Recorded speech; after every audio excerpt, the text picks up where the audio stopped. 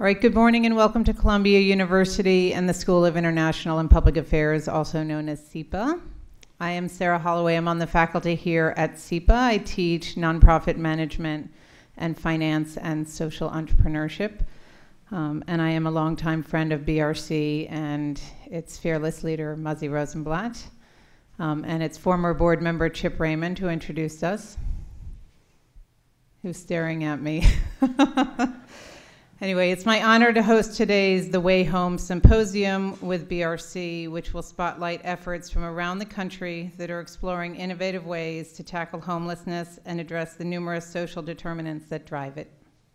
Today, we will hear from four innovators who will talk about their experiences looking at community challenges through new creative lenses and share with us their process for designing solutions that are disrupting the status quo and beginning to achieve significant outcomes for the people they serve.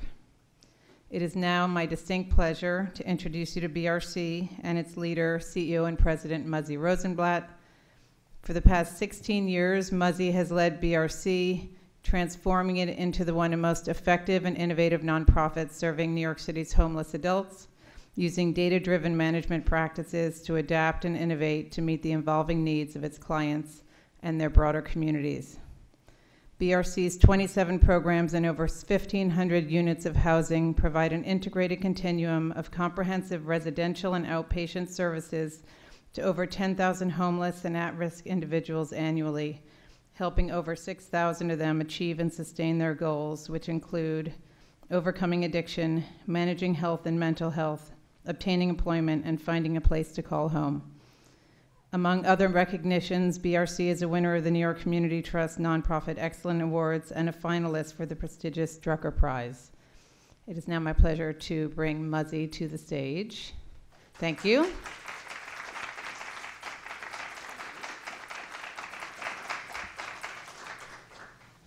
Thanks, Sarah. So welcome to our, uh, our first effort at, uh, at having a symposium and bringing people together to think and discuss ideas. Uh, today we come together to explore innovative approaches to homelessness. Innovation's become a pretty cool word, uh, but it's pretty straightforward. And if you're here today, it's probably because you get it and you do it. Simply put, innovation is defined as the introduction of something new a new idea, a new method, a new device.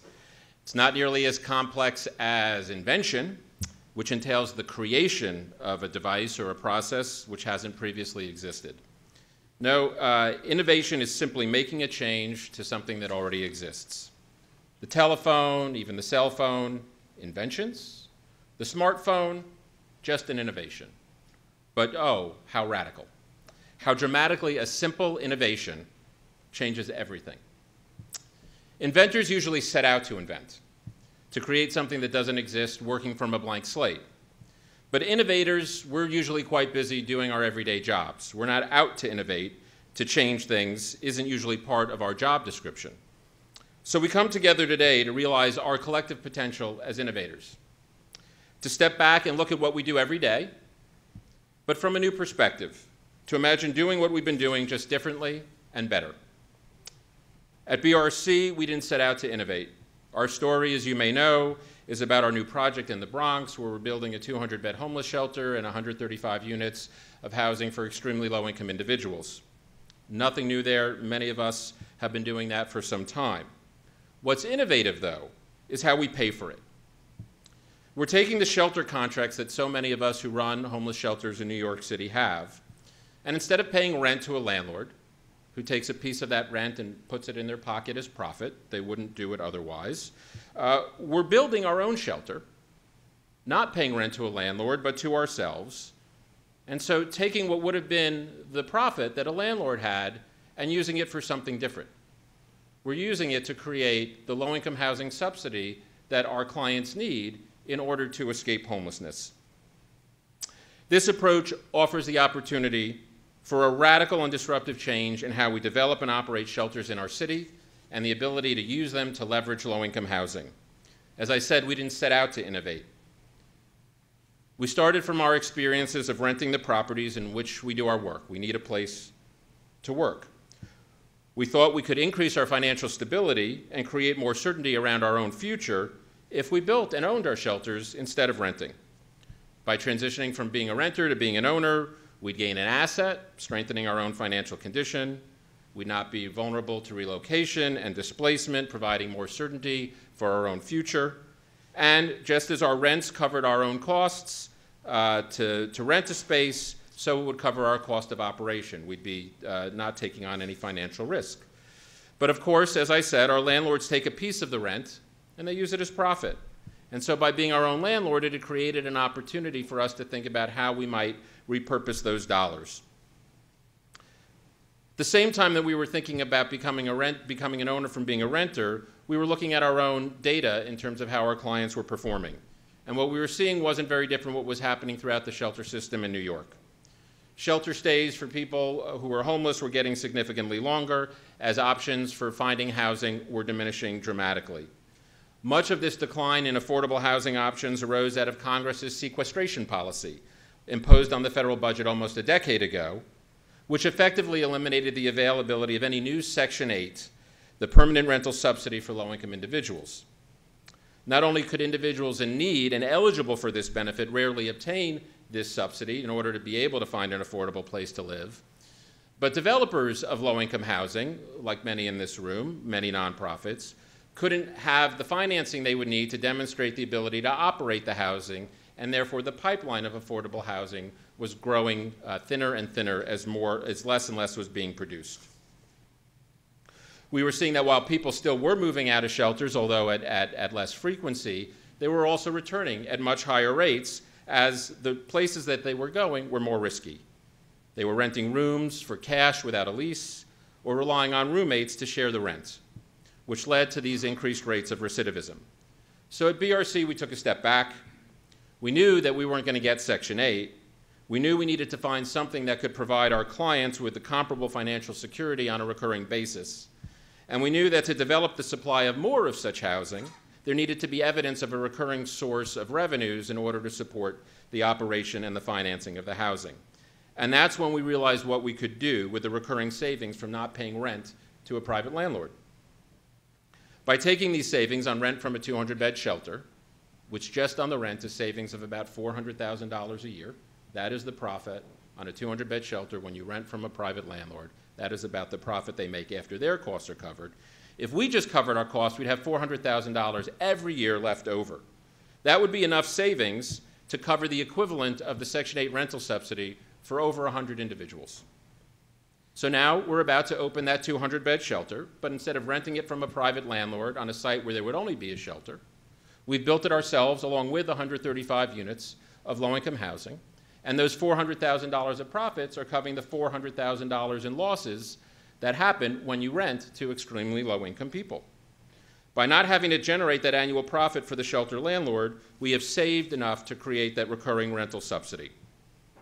There'll be 111 studios, the rents will be $455 a month, enough affordable to somebody making $25,000 a year. Those are the people we serve, those are the people who are homeless in New York. So, what's our innovation?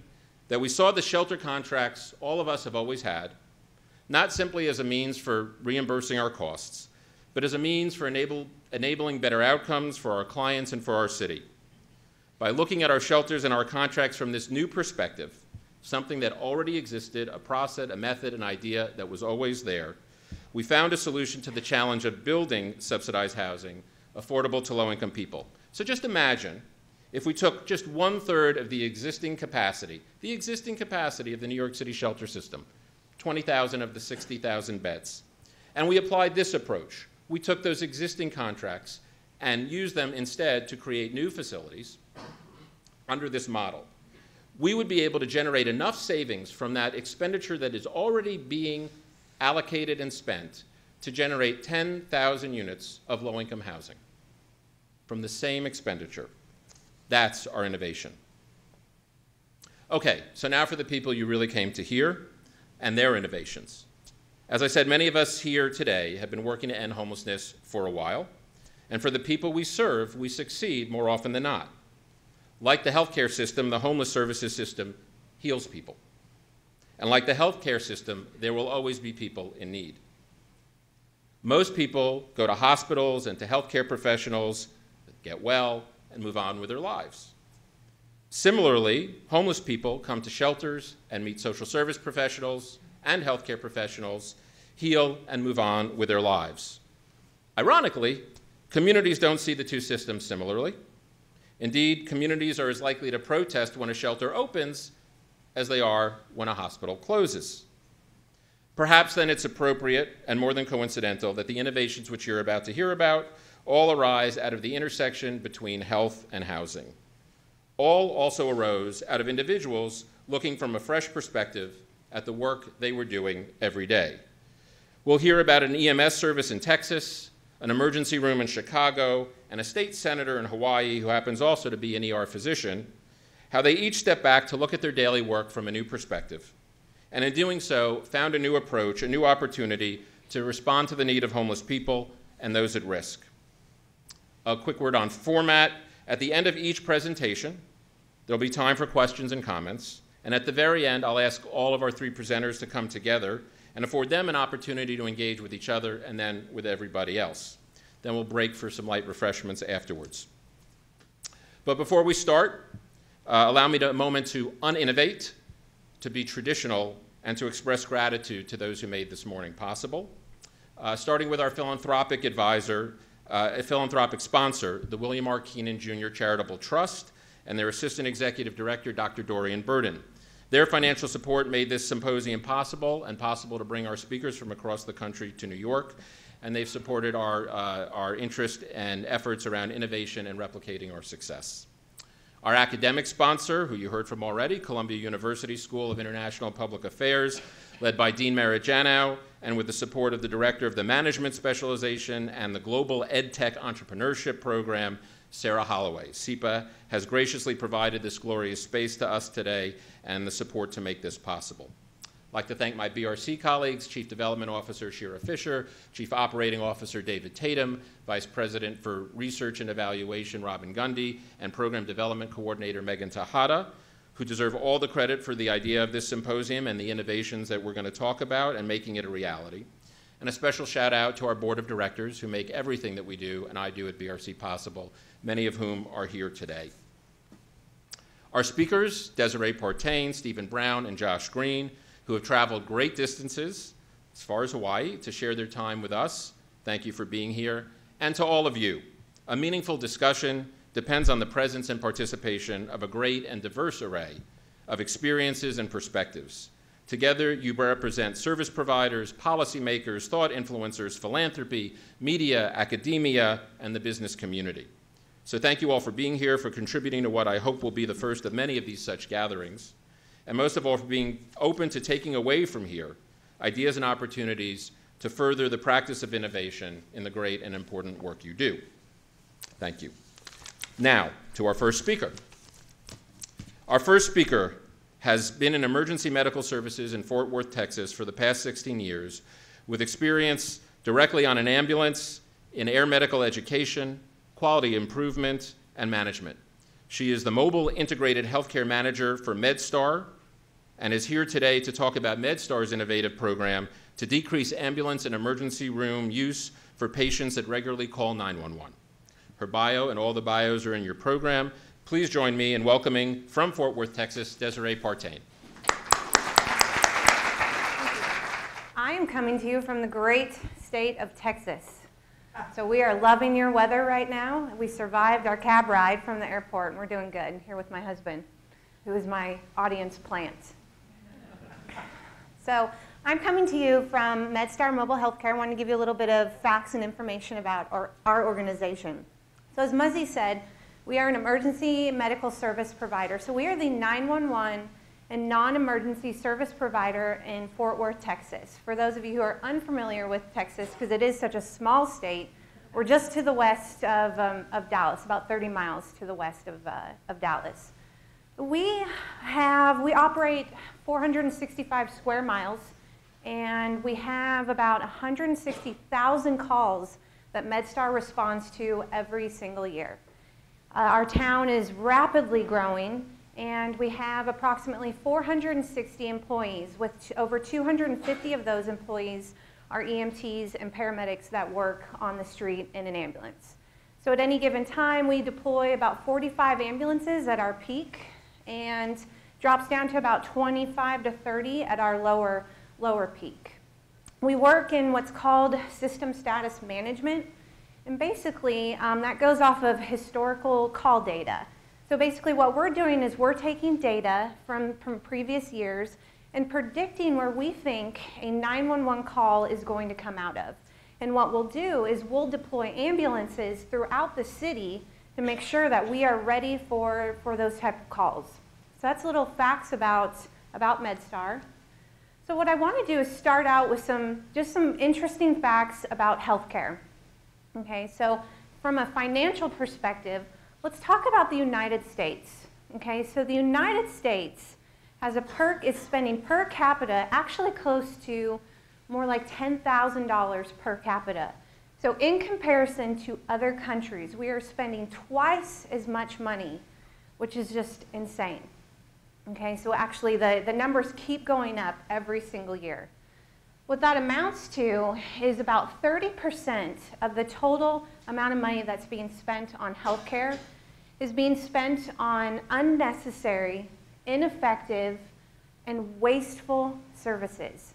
So when you put the dollar amount to that, that is close to over $765 billion per year that we are spending on healthcare. Think about that. $675 billion.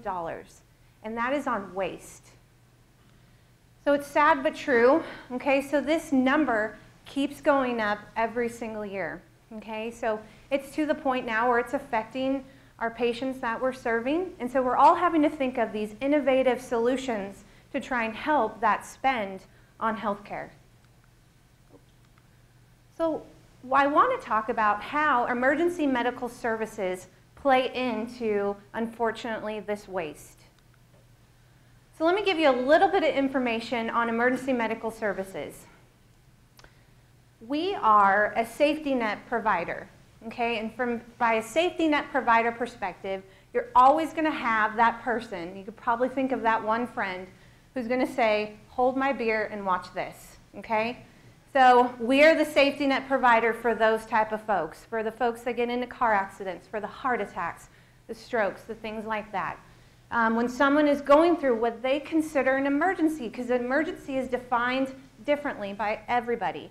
We are that safety net for someone to call when they feel that they are having an emergency situation. Okay?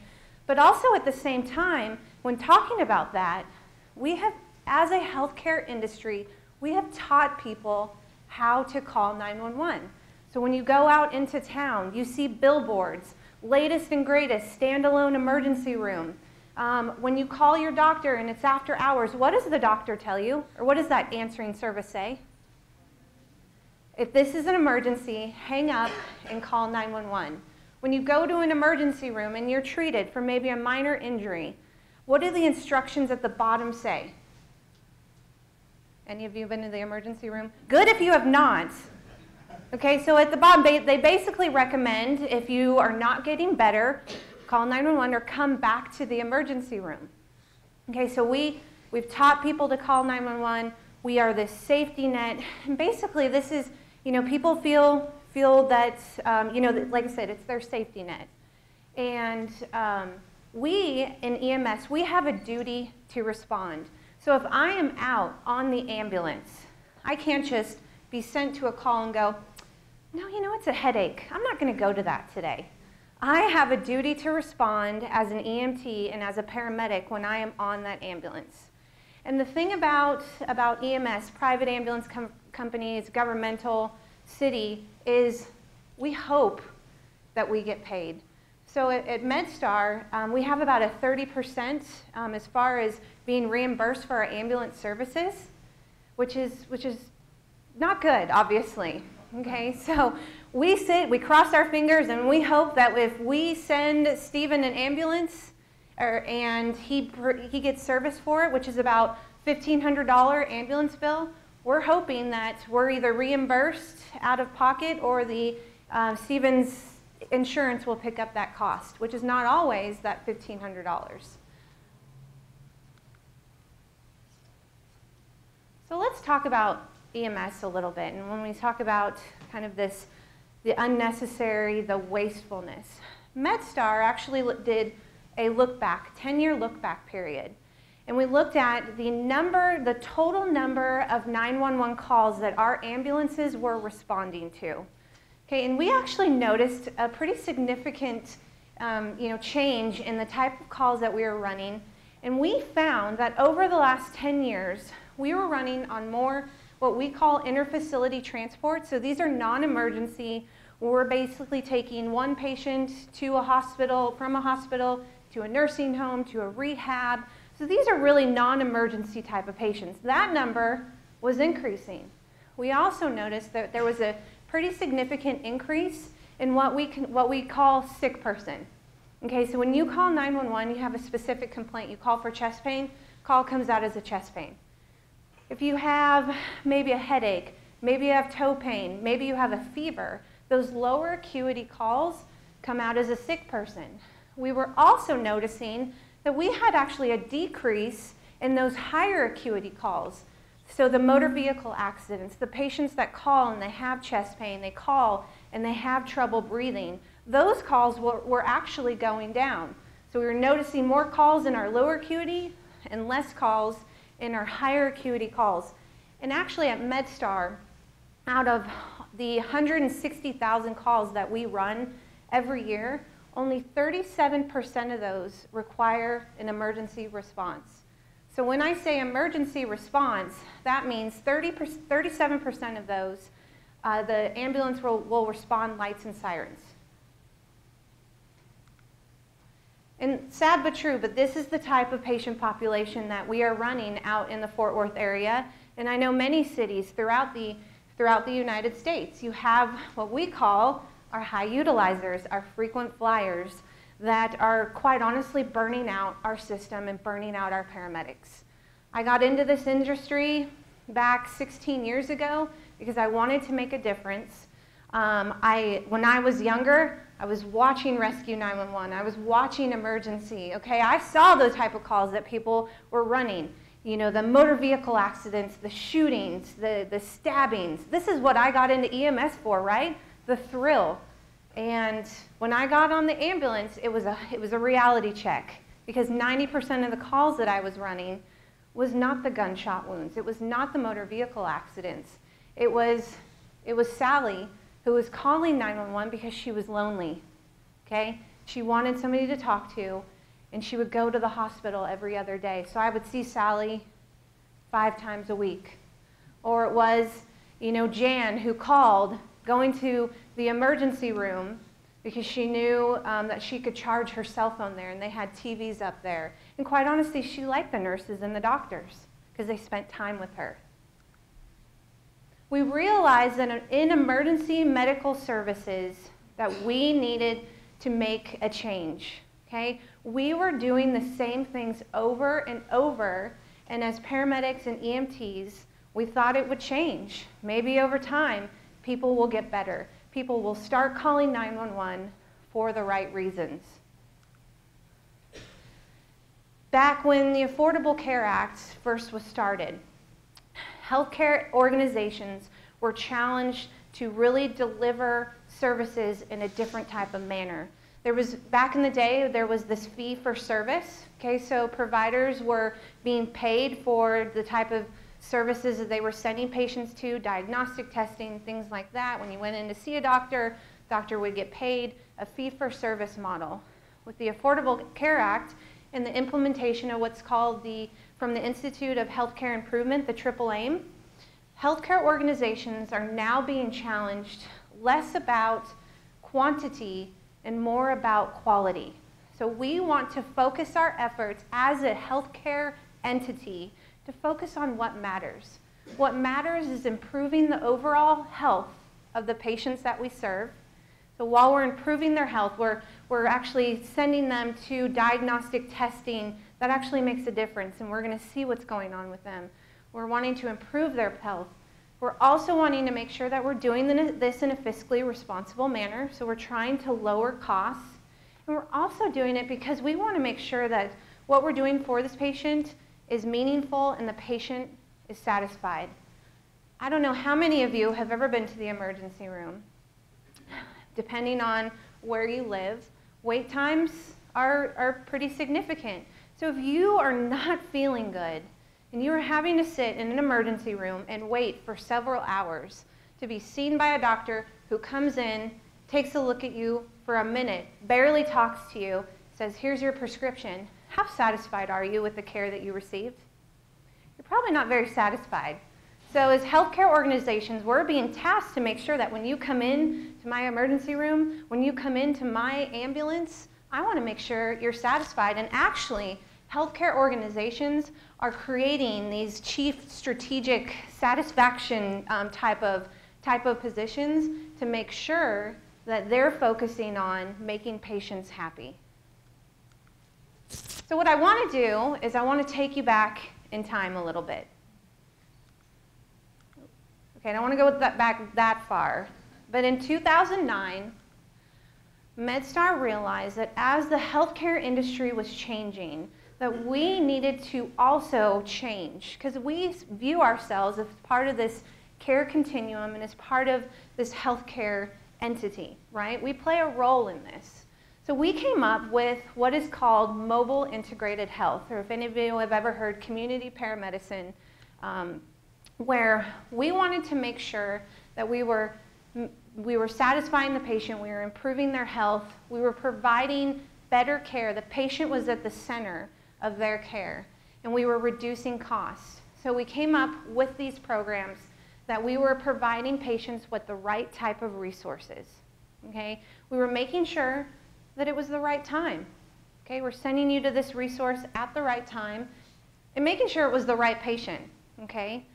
Making sure that these patients receive the right outcome. So, did we provide them the care that ultimately improved their health? Were they satisfied? And making sure we were doing it in a fiscally responsible manner. And what, how we were doing it is we actually did a needs assessment in, in our community in Fort Worth. And the biggest thing was asking the question what are our barriers here in the healthcare system in Fort Worth? So we got together with several stakeholders in our community from hospitals to clinics to outreach teams, um, you name it, to uh, managed care organizations. Everybody got in the same room and we said, in Fort Worth, what are the biggest things that we struggle with from a healthcare perspective? And with that, it was okay, how can we all work together? How can we be integrate? How can we work collaboratively to really tackle these issues that we have? So, and because of that, we developed these mobile integrated health uh, care programs to stop responding to calls that we could prevent. So, is this not kind of a, a, you know, different than how we were traditionally doing services? So, as an emergency medical service provider, we are paid to transport people. We're hoping we get paid for it, and that's how we operate. And now we're having to take this different approach and say, well, how can we prevent these type of calls from happening? So we came up with some programs, our high utilizer, which I'll speak about a little bit more, 911 nurse triage. We do a readmission avoidance program. We also work with hospice agencies and home health agencies, for hospice agencies helping with their revocation rates, and for home health agencies helping with their readmission rates. And it was a kind of a filling a gap in a patient navigation versus primary care. So what we wanted to do was we wanted to take this concept of the ambulance driver, okay? Those EMTs and paramedics that get on the ambulance, they drive me from to and from to get to the hospital because I have a stubbed toe and it's an emergency and I need to go to the hospital right now. To this integrated approach where we're, we're taking paramedics and we're we are putting them out in non-emergency response vehicles and sending them out to patients' homes in order to take this preventative care, preventative approach to health care. So let's talk about 2009 when we first started. Okay, we were, we took this leap of faith. We had really no idea what to expect, okay, and what, um, what outcomes we were going to be having. So what MedStar did is we started this, what we call a loyalty program. So these were patients who were loyal to calling 911 and using the emergency room on a pretty frequent basis. So this list was pretty small. We had about 20 patients that we identified as our top ut- utilizers. So what we did was we enrolled them in our programs and, and we flagged them in our computer-aided dispatching center. So when John Smith called 911, he got a typical uh, emergency response. So he got the ambulance, he got the fire truck, but he also had a specialty trained paramedic that would co-respond and make scene, and ultimately we would determine what John Smith needed. Maybe John was lonely and just wanted to talk to somebody. Maybe John just wanted a pack of cigarettes. Maybe John just wanted something to eat. So that specialty trained paramedic would get on scene. Once we determined that there was no life threatening conditions, there was really no acuity to the nature of why John was calling, what we would do is we would clear the ambulance and the fire truck. Bye, guys. Thank you so much. Uh, you can go back into service, hopefully, to go run, you know, a cardiac arrest or some, somebody that truly needs you. And we stayed on scene with John Smith to figure out what we could do for him. Whether it was navigate him to an urgent care, or quite honestly, maybe we just needed to sit and talk to John for about 20 minutes. Okay? So, with that, we kind of we developed this high utilizer program in which the overall goal is, is decreasing patients' use of emergency services, whether that's the ambulance or the emergency room. So what we traditionally do is we, we refer patients from the, from the emergency room or we do internal referrals. So the ambulance has run, um, you know, Mark 20 different times in the last 30 days. Listen, I am tired of running Mark. I've seen him 20 times this last, last month. Your team needs to do something about this. So what our goal is to then go out and find Mark. We'll set up proactive home visits where we are going into Mark's home and we're doing a complete needs assessment. We're, we're assessing his, his home condition, his environment. We're figuring out what is the root cause of why Mark is calling 911 and going to the emergency room so often. And what we've determined with this high utilizer group is a lot of them do have comorbidities, but it's less about disease processes and more about psychosocial needs. So these type of patients, we do a little TLC at the very beginning, so there's a lot of um, hand holding, but our ultimate goal is to develop some goals for that patient. So maybe Mark's issue is he doesn't have a primary care provider. Maybe Mark's issue is he doesn't have a means of transportation. So he's got Medicare, but he just doesn't know how to navigate himself throughout this, through the system. So let's get Mark in touch with a primary care provider and let's also set him up with some transportation. So does he qualify for a, um, you know, a bus service? Does he have family that can get him to or from doctor's appointments? So what we do is we educate, we proactively help to manage Mark and his, in his issues, create goals. That way we're going in and our visits are meaningful. But at the same time, when patients are enrolled in this program, they're also flagged in our computer-aided dispatch center. So in the event, while we're out proactively managing him in, in his home, because we understand that Mark also still has a high, high prevalence of calling 911. So if he calls 2 a.m. or 2 p.m. on a Saturday afternoon, he's going to get the typical emergency response, but he's going to get that, that specialty trained paramedic to go out there and be like, Mark, I just saw you yesterday. What, what's the deal, man? Why are you calling? Well, I, I missed my PCP appointment. Okay, well, let's let the ambulance and the fire department go. I'm going to call your doctor either today or tomorrow, and let's get you in to see him. And you know what? Family can't take you, so let's set up a Lyft and we'll get you to and from your doctor's appointment. So we understand that, you know, it really takes the patients to be willing to participate in this program. Okay? They, they, want, they need to be willing to participate and want to improve their overall health. But we realize that there are certain patients, no matter what resources we provide to them, no matter how much education, how, how many tools we give these patients, they're quite honestly, you know, not, not going to want to do anything to help. So those type of patients, we actually, um, we put them into what we call our system abuser program. These patients do not get proactive home visits. These patients, when they call 911, they're going to get the, the re typical response. They're going to get our specialty trained paramedic to go out. But then if they call and there's not a medical issue or not an a acute life threat, we, we quite honestly can say, at the advice of our medical director, sorry, but there's nothing that we can do for you today. You need to get back in bed and you need to go to sleep. Um, so those also, we determine what destination that they go to. So Texas is a delegated practice state, so we have our own medical director who uh, creates our protocols and we, we work under his license and we're able to implement these type, type of programs in our system. So a little bit of data. So in the last five, uh, four years that we've been doing this program, we have enrolled over a thousand patients in our high utilizer program. So these have been either internal referrals from the, the fire department, referrals from the hospitals, and things like that. Out of those thousand, we've had over, over 500 that have graduated. There have been more, but 500 in which we were able to get what we call pre and post data. So when patients enroll into our program, we look at their utilization, their ambulance and their hospital use, utilization 12 months before they enroll. We look at their utilization during enrollment, and then we look at their utilization 12 months after to really see did we have significant change? Did we impact this patient? So out of those 507, uh, during enrollment, so they're traditionally enrolled for about 30 to 90 days, we've seen a 40% reduction to in 911 to the emergency room. After they've graduated, we, we've seen a 53% reduction in 911 to the ED and 76% in reduction uh, utilization for our system abusers. Our 911 nurse triage program. Okay, so who in here has ever called 911? Okay. You, sir. David? Yes. Never called 911? No. Well, today you're calling. Okay. Okay.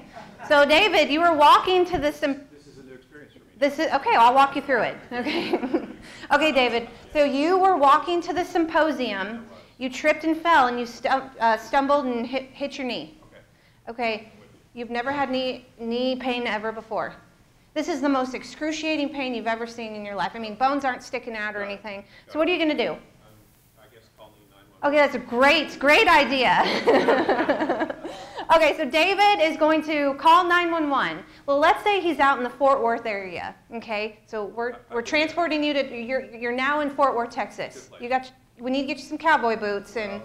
and cowboy hat. But, okay, so David is out here in Fort Worth. He calls 911. He's first sent to the police department who determines he, he has an issue that's medical in nature. So that police department is then going to transfer him to MedStar. Okay, so MedStar has a, uh, a caller who's going to ask you a series of questions. We're going to determine what the nature of your call is, and we're going to rule out any life threats. So, David, you aside from your knee, you have any other issues going on? Ooh, good. I was hoping you were going to say that. You're not having shortness of breath or chest pain or anything like that. Okay, so David um, has no life threats. Four years ago, guess what David was automatically going to get? He was, yes, you were going to get a ride. He was going to get an ambulance, okay? Until 2013 when we started a nurse triage program. So I am the call taker and I've, I've asked David several questions and I've determined there's no acuity, no life threats. So David, what I'm going to do is I'm, I don't think you have an, an, an emergency situation right now that requires an ambulance. So what I'm going to do is I'm going to connect you to a nurse in our communication center who's going to help provide and get you to the best type of, of care that we think you deserve. What do you, how do you feel about that? But I can't walk. Okay, well, we'll work on that. Okay. Are you okay? Are you okay with the nurse uh, speaking to you? Yeah. So I'm going to do what we call a warm handoff. I'm going to get the nurse on the line and say, hey, uh, Betsy, I have David here. He, he fell, he hit his knees, complaining of some knee pain. And, and our nurse, Betsy, and that's Betsy, by the way, she makes great jam at our, at our state fair. She's an amazing lady. So Betsy's going to get on the phone with David, and she's going to have more of a conversation with David. She has a set of protocols and algorithms that she has to follow, but she can get a little bit more in depth into ultimately determining what resources David needs. Okay? So she talks to David, and we determine David, you don't need an ambulance. Okay. But I do think you need to go to a doctor. Do you have a primary care doctor? Huh? You answer how you will. We'll go. we'll Sure, go. yes. Okay, you do? Yes. Okay. David, do you have a means of getting to your doctor? No. You don't have transportation. Okay, you don't. Okay, so David, let's do this. we have an arrangement with Lyft. We can send a Lyft out to your location, okay, and we'll get you to your doctor. I'll call your doctor's office, we'll get you in, and um, we'll go from there. How do you feel about that? Sounds great. Okay, so you, are, can you walk now? Sure. Yes is the, the answer. Okay. Great, thank you. Okay, so that's our 911 nurse triage program. So lower acuity calls, what we call alphas or omegas, we traditionally would have sent ambulances a few years ago. Now they're being transferred to our nurse, who ultimately determines the best resource. Whether it's giving David simple instructions over the phone about his knee, maybe you need some ice, maybe you need to elevate it, maybe you need to stay off, uh, stay off your leg, or maybe it's getting him to a primary care, to an urgent care, and figuring out if the patient has transportation. So we have actually partnered with Lyft. It's been almost a year. So we send Lyft drivers out to patients to pick them up and take them to urgent cares, to the emergency room if we feel that they need to go, or to their, to their doctors.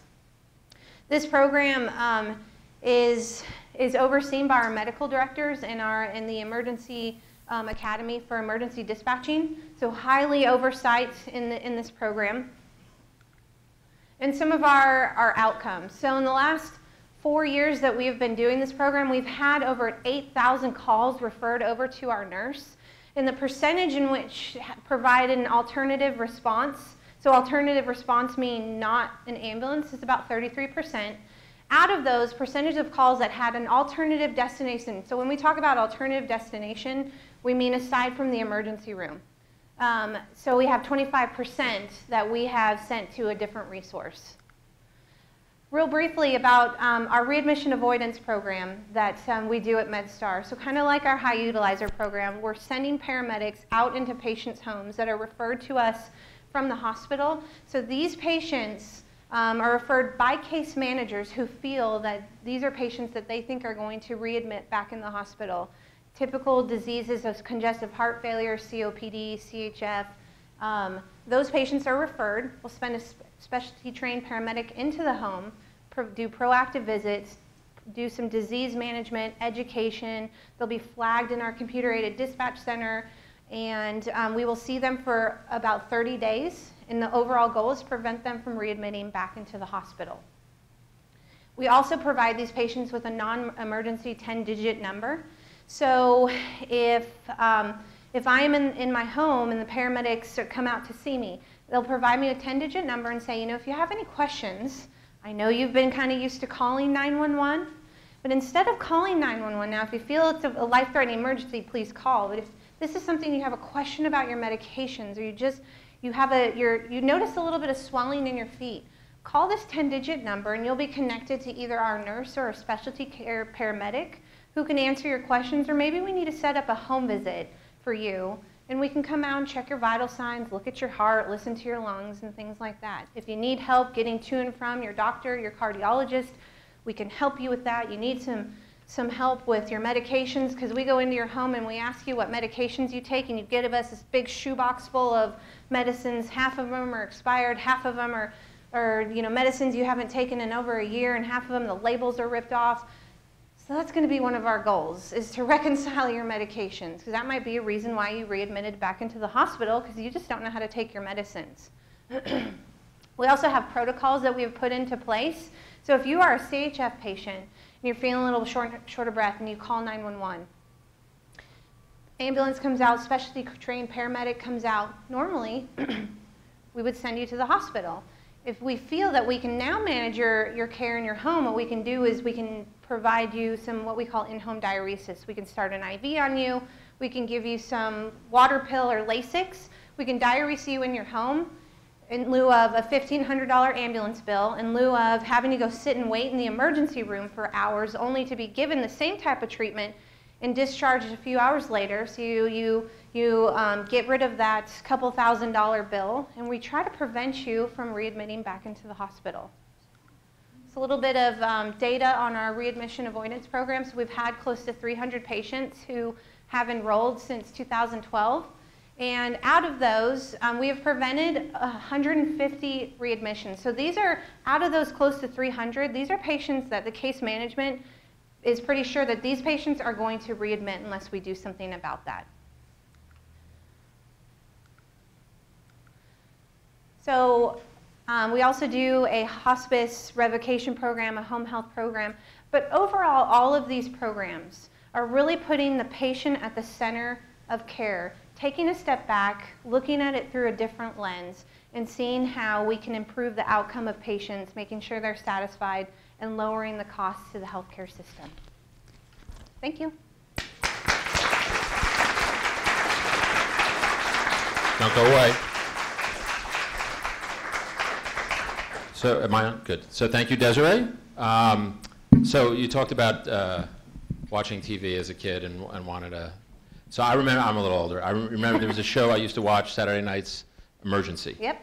Right? With, uh, with, uh, with Johnny and Roy. Yep. Riding uh, uh, the, uh, and, uh, the, the, the paramedics, uh, Squad 51. And I wanted to be them. I wanted to run to those places just like you said. So I have to imagine this required a bit of a culture change. How did you go through the process of getting paramedics and EMTs and getting nurses to see themselves in a different role and to actually want to get into this? And how much resistance did you get in that process to make that kind of change? So, great question. Um, this, this is something we started out small. So, we actually started with a small group that we trained specifically for this program. At the time, it was called Advanced Practice Paramedics. They were pre selected, so they had to go through an application process, they had to go through an interview process, and then we put them through, through training. So, they had to buy in in this program and learn about mobile integrated health. So we started small with a small group. We still have a small group. I manage about 20, 20 uh, staff members. Um, but it, we had to, to grow this concept over time. We still have paramedics that are out there that have been doing this for years. But I am big on hiring for personality. Because you can have a paramedic that has been doing this, excuse me, for 20 years, but it doesn't mean that they're a great fit for this program. I hire people that I trust and know that they're going to go into someone's home. They're going to build a rapport with this patient, and I'm not going to have any issues. I'm not going to get any complaints. These are patients that I feel comfortable that they would go into my own home and treat my family. So we hire for personality who buy in in this in this program and, and understand that this is a different approach to healthcare. All right, questions from the room. Eve. Uh, Mike's coming around. Here we go. How many of your enrollees are homeless? So Uh, the question is how many are homeless? With um, patients that are referred to us that are homeless, initially when we started this program, we were taking homeless patients. The challenge with those type of patients is a, a place to find them. So what we found was taking homeless patients, it was a challenge to go find them. Yeah, I'll meet you at 7-Eleven on the corner of Hemphill and Rosedale. Most of the time, the patients didn't show up. But when patients are referred into our high utilizer or readmission avoidance, I don't have an exact number, but those are patients that we traditionally don't take on, but we're here to bridge a gap. So what we actually do is if we find out that they're, they're homeless, we work with our uh, community hospital who has a homeless outreach program. So we actually meet with them. We say, okay, John Smith was referred. We've found out that he's homeless, but here's where he called 911 last. So let's work together to go find John Smith, and then you guys can go out and manage him. Um, they have uh, physician's assistants, nurses, technicians that actually will go out and do the medical portion of this. Um, so great question. Hope that answers it. So right now we don't take on homeless patients just because of the challenge in finding them. We take them on initially, but we make sure that we refer them to the most appropriate resource. Jen. Hi. And Um, then Tomaru and then Win, I saw. so, in, who's paying? How's the paying working? So, who's paying that Lyft bill? Who's paying for your nurse to be on the phone? For someone to stay on site after the ER, um, the paramedics Right. go on, and then can you also talk about culture change on the payment side? Because I Ab- would, yeah. Absolutely. So great question. So when we first started this program in 2009, we had no idea how this was going to be reimbursed. It was okay, bake sales and car washes because that's how it's going to be reimbursed. After we gained proof of concept and we started doing these programs where we started with a small set of high utilizers, we evolved these programs. We did process improvements. We had bumps and bruises and we bled a little bit, so we learned from our mistakes And then we got to a point where actually healthcare organizations were coming to MedStar.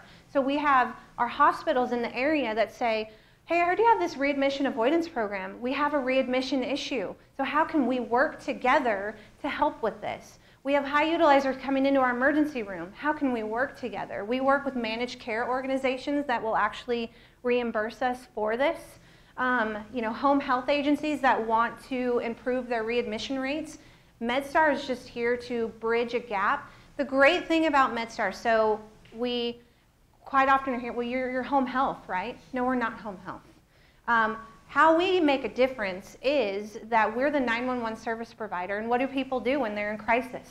They call 911. So we have a higher prevalence of being able to find these patients, and that's where we bridge the gap for home health, hospice, the hospitals, managed care organizations, because we're the paramedics that have the eyes and ears to find these patients and make a difference. So hospitals are reimbursing us, managed care organizations, home health, they've all kind of bought into this, this program. Uh, Can social workers add any value to this process for you or assist you in any way? Absolutely, great question. So the question was, you're obviously social workers doing this. So one of the things that we're working on at MedStar is not just having paramedics going out into the home. So can we have EMTs that go out? Because paramedics are just a higher level to emergency medical technicians. We're also working to have community health workers involved in mobile integrated health. Um, so having this wide array of different types of, of resources, not just the paramedics, because it truly does take a team to be able to do this. So absolutely, social workers, I know that there are mobile integrated healthcare programs that, like you said, are, um, are staffing with community, um, community health workers and social workers. And we actually have a nurse case manager that works in our department to help with case management for our patients. Doug? Uh, This is a follow-up with the, the billing question. Uh-huh. You had mentioned about a 30% reimbursement rate on ambulance calls. Mm-hmm. What is it? Is there a similar study you've done with these programs? Um, To ma- to make it sustainable, the, the program? Uh, so there are several different types of mobile integrated healthcare programs nationally um, that are that are being done um, with a, a ton amount of um, data. The, the issue right now is CMS buying in on this because right now CMS does not does not um, provide reimbursement for mobile integrated health programs. So we're we're trying to tackle that uphill battle because they'll they'll reimburse for the ambulance if it's medically necessary but we're still trying to work with legisla- legislation out in Texas um, to get CMS to buy in. And this is this is a, a program that is making an impact. And we are, even though we're emergency medical services, you know, we, we play a pretty significant role in, in that.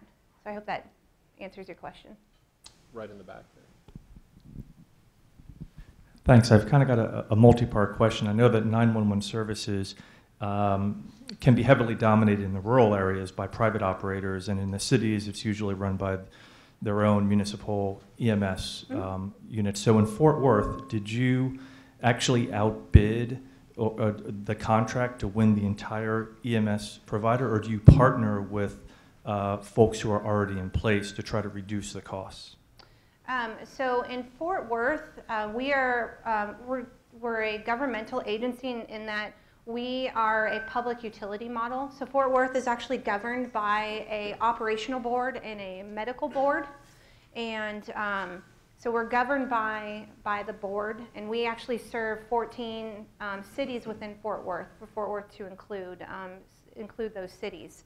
Um, as far as reimbursement, it's it's more of the partnership. So we'll be we'll work in contract with uh, John Peter Smith, which is our community hospital. That, for example, this year they say, okay, we have allocated two hundred thousand dollars in our budget for the MedStar program. Um, so the hospitals, the managed care organizations are actually putting this into their budget, and they're the ones that are reimbursing us for this for this partnership. Uh, does that answer your? It does. Can I ask a follow-up? Absolutely. I'm wondering if you think there's, sorry, it's loud, if there's a, uh, an opportunity to partner with the health insurance companies, similar to what the radiation benefit managers do. The triage seems to fit really well Mhm. there to try to reduce the costs from their standpoint. Yes, absolutely. Great question. We're actually working with a third party payer right now um, to do more of our high utilizer because the third party payers are noticing that from a cost perspective, they have some pretty significant utilizers in, in their insurance agencies that are using a lot of a lot of healthcare. So that is something that we're actually working on and we're hoping to go live in January. One more? Chip? Wait, wait, wait, wait. Thank you. Uh, What what I'm curious about is, it seems that you're taking, you know, very um, limited emergency services and medical services and shifting them over to like social psycho services. And when you do that, I have two questions. One is, are you taking the, the, um, the uh, personnel that you have and retraining them? Or are you adding more, uh, more people in the overall uh, provide, providing of the services because it's been expanded and shifted a bit?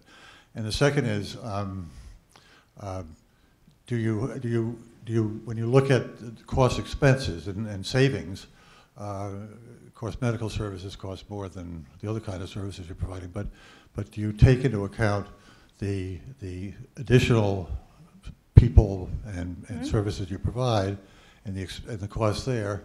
And is there a major difference, or is it pretty much the same cost, but, but very much uh, something you would save time on with respect to ability to go quickly to, to deal with issues that would, that are not medical? Right, absolutely. So one of the things that we do is this is a separate department within MedStar. Um, so we hire traditionally people that come f- are within the organization. So this is just a specialty or, or a different department um, that, that we hire on. Once they're hired on, they go through a specialty type of training to really learn about mobile integrated health and the programs that we do and the services that we provide. So we do our own in-house in-house training.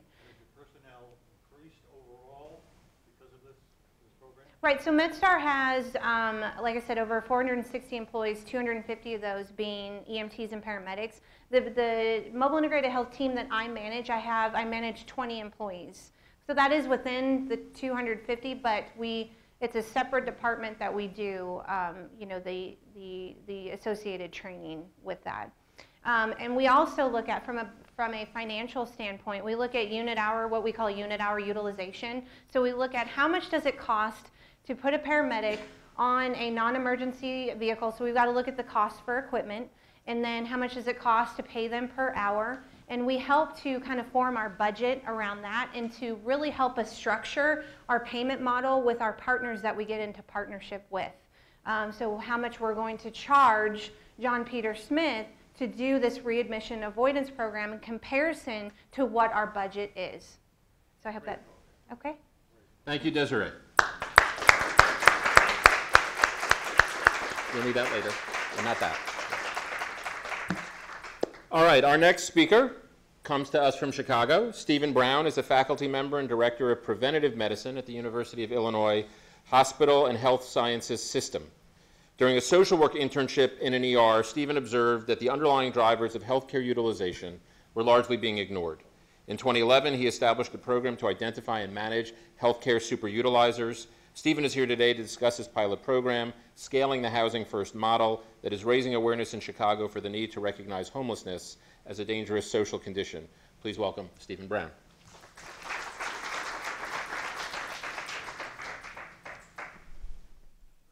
Uh, Good morning. Uh, My name is Stephen Brown. I'm the Director of Preventive Emergency Medicine at the University of Illinois Hospitals and Health Sciences System.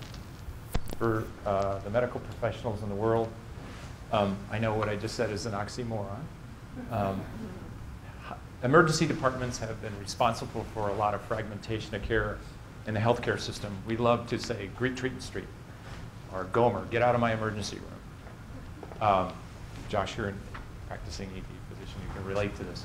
Um, so uh, I got involved with this project about two years ago. Um, I ha- I'm a social worker with a background in IT. I used to work for Motorola a long time ago. Um, and coming into it as kind of a mid-career transition or crisis, however you want to frame it, um, I noticed that we had a lot of people that kept coming repeatedly to our emergency department, and there was a great deal of frustration among our providers, among those individuals. So um, I started a program about two or three years into my social work career, working as a crisis worker in emergency department, where we'd actually start to take a look at these individuals. We call them frequent visitors. Um, the pejorative term is frequent flyers a lot of times. Um, but we would, I began to look at what was driving some of the utilization of these of healthcare resources, and lo and behold, chronic homelessness was a big piece of this stuff. There's also a lot of severe mental illness and a lot of psychiatric illness, uh, and substance, excuse me. Um, and then I moved to the University of Illinois about uh, six years into my career, uh, having started at University of Chicago. So I was given the opportunity about two years ago to start this program based on some funding that we had gotten from our hospital leadership. I'm going to describe a little bit of it, but I'm also going to tell you what a deadly condition this is. Um, we're in healthcare beginning to shift the way we're thinking about this. Um, I'll show you some of the acuity, morbidity of the, the disease, and the way that we're trying to think about how to respond to this condition.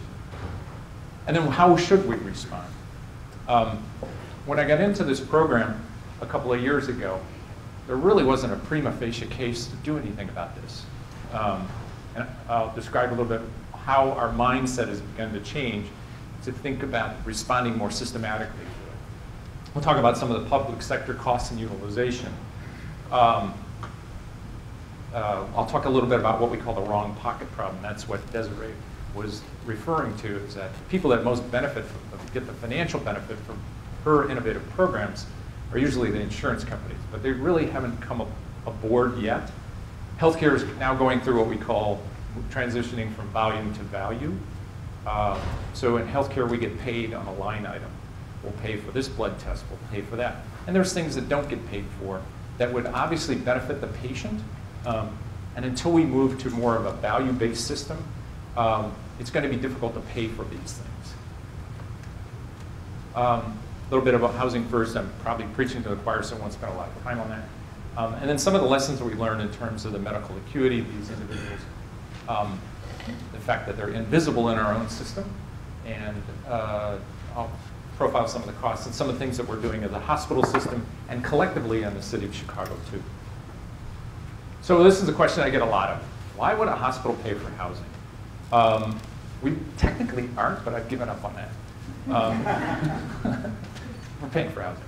Um, we, as I said, when I started this program, I was uh, given an opportunity to run this program in 2015 uh, because of my experience managing superutilizers of the healthcare system. Um, nothing obvious. Uh, we knew that we had a lot of overcrowding. We're an inner city hospital. We're public. We're one of two state ho uh, public hospitals in the city of Chicago, and we're also for emergency physicians. Our NEDOCS is always going up. That's an overcrowding score.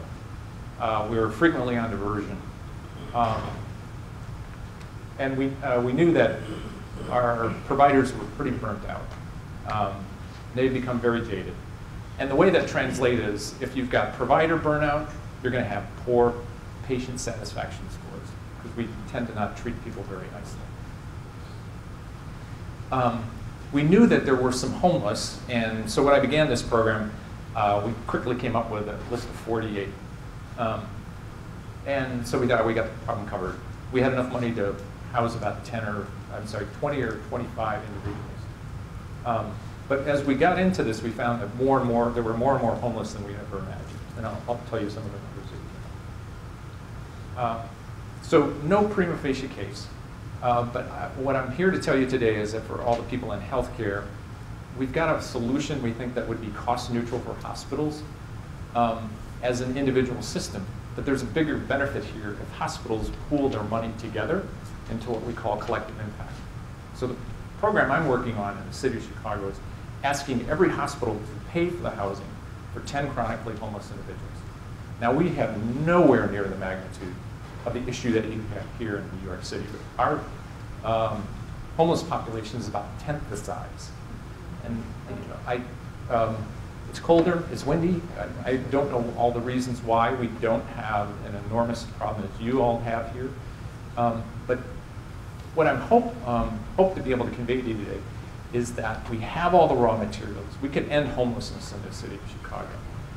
Um, I'm kind of a class, glass half full my wife calls me pathologically positive.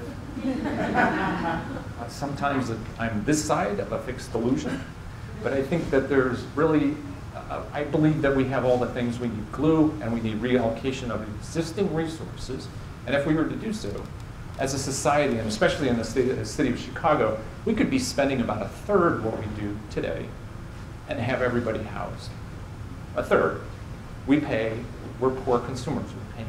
We're paying two thirds too much for what we do, and we do a really bad job at it.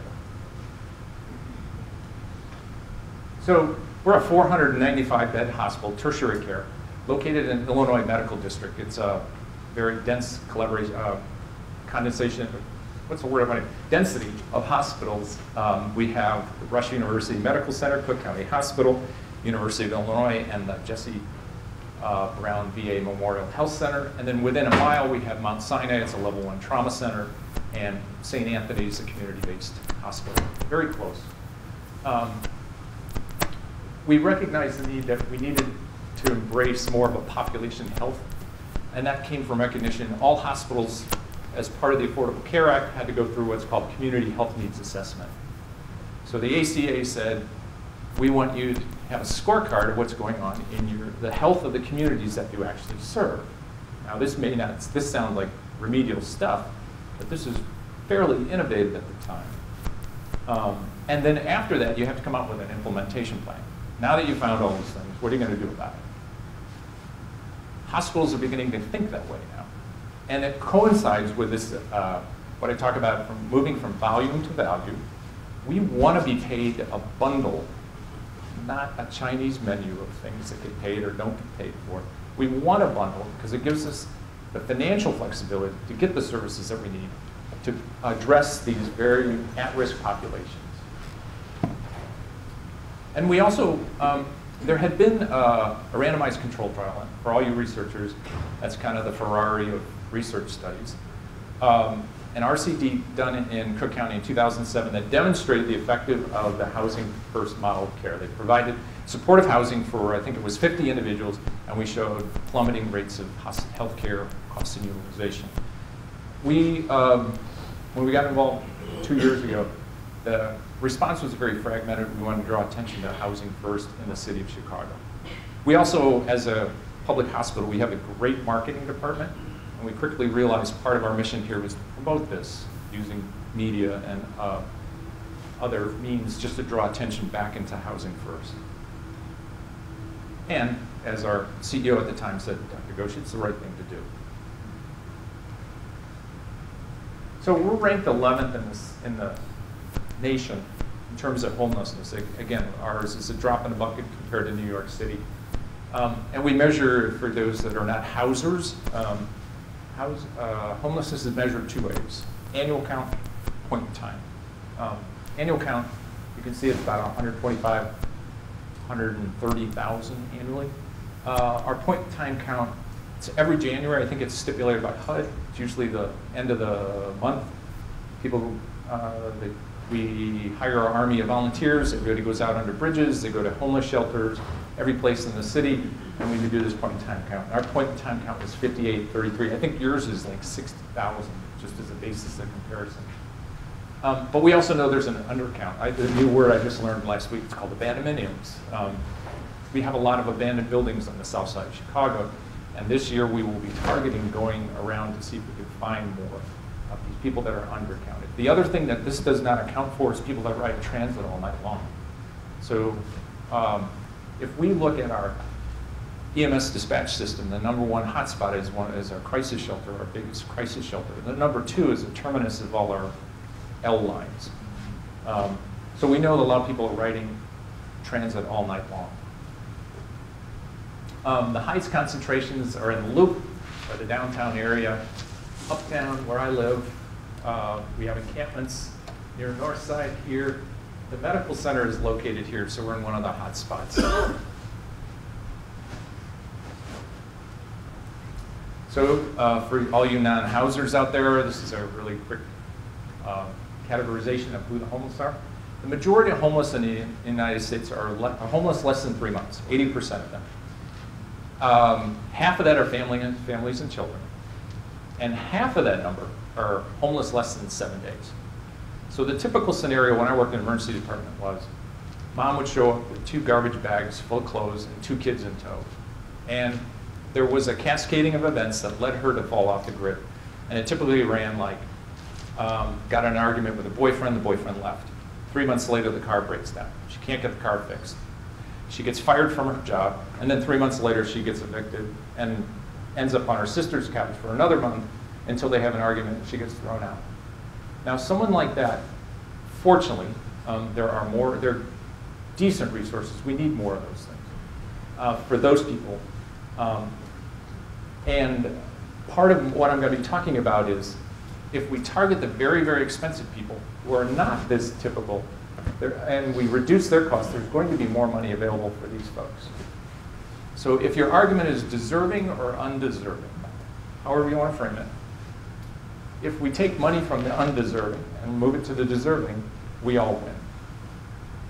I'm sure there's a political argument here. I don't want to get into it right now, but if you want to argue with me afterwards, come and talk to me. Um, but the, uh, the point is that 50% of these folks are, they've fallen off the grid, they need to get reestablished, and they just need a little help.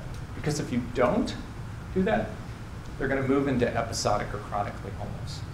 We have guys that have been homeless for 10 or 15 years. And to, when I look at how dangerous the health condition is, it astounds me as a society that we allow this to exist. But this is based on my observation as a medical professional to seeing how sick these individuals are. And I hope to convince you today that they are very sick. So episodics tend to be kids that have aged out of the system, foster care system. 30% kids that age out of the foster care system will be homeless in their 20s. They have a subacute mental health need that has never been addressed.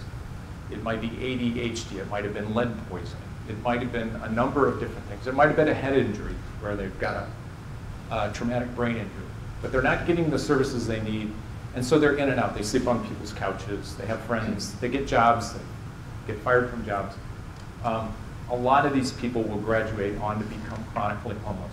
When you look at the profile of the older gentlemen and women that we serve in the chronically homeless, many of them have come from the episodic category. And then finally, the chronic. The chronic are the people that we know the most. They sleep under bridges, they push shopping carts. Um, they are involved with a lot of petty crime, but we have very high rates of mental illness and substance abuse in this. So they need a little bit of help, and that's what I'm here to talk about.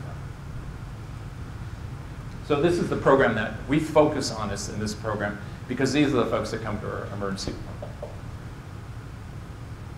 So why is there chronic homelessness? Well, there's population characteristics. You can see very high rates of mental illness and substance abuse. What that calls out for is a little bit of help. Um, these folks can't do it on their own. The individual that I know, every one of them have a severe mental illness, bipolar or schizophrenia, major depressive disorder. The majority of them have been kicked out of crisis shelters. Um, they often get in fights, and it's often a result of being too close to other people. They don't socialize well. Um, they need a place of their own. Um, and then the other thing is we've just had this lack of a comprehensive, we've been working in silos in the city of Chicago. Uh, when I got into this, everybody claimed that they were the voice of the homeless, but nobody was talking to each other. I'm happy to say that we're beginning to move in the same direction. Oh, and then the other thing, we also have the issue of lack of affordable housing. Our rents continue to go up. Um, on the north side of Chicago, it's just, uh, it's getting very, very expensive. Um, the interesting thing that I find with the people that we work with is they want choice and they want to feel safe, the people that, just like anybody else, basic human right. And so they want to live on the north side, but it also tends to be very expensive. expensive. So, um, this is the Pareto principle on steroids. Um, so among the homeless, they only make 10, 20% of the general population, but they account for most of the costs that go into the services. And I'm going to show you why. Because all the shifts, all the costs get shifted into the most expensive public resources. The basic problem, uh, the basic issue is, we, as I said, it would cost about a third if we just reallocated the resources, the existing resources that we have. So this is all the cost shifting that ends up. So we provided permanent supportive housing for these individuals. It costs about $57 an evening. Uh, But everything gets shifted to the right. And so if you're looking at a day in a hospital, $2,600, that's a cost factor of 48 compared to $57. Um, What we see now is we're beginning to work together with some of the cross, cross sectors. We're seeing that, we see people coming in and out of the jail system. I have a list that I keep of all my frequent visitors, and if they disappear for a month or two, I go to mugshots.com and I see if they're in, if they're in Cook County Jail, or I look at the inmate locator, or I look if they violated their probation and are back in prison. And typically they will be. They'll be in for three or four months for petty crimes, for drug possession, um, for property crimes, for trespassing, things like that. And then they'll be, back out again. So um, when I spoke to state officials here, we realized that who they called multi-sys- multi-system users were my frequent visitors in healthcare. And so we're working now trying to figure out how to do cross-sector data exchange so we know who those individuals are so that we can intervene earlier in their lives. So for those that are not housers, this is Housing First. This is kind of established science now. There's been a number of randomized control trials that shows that this is truly effective.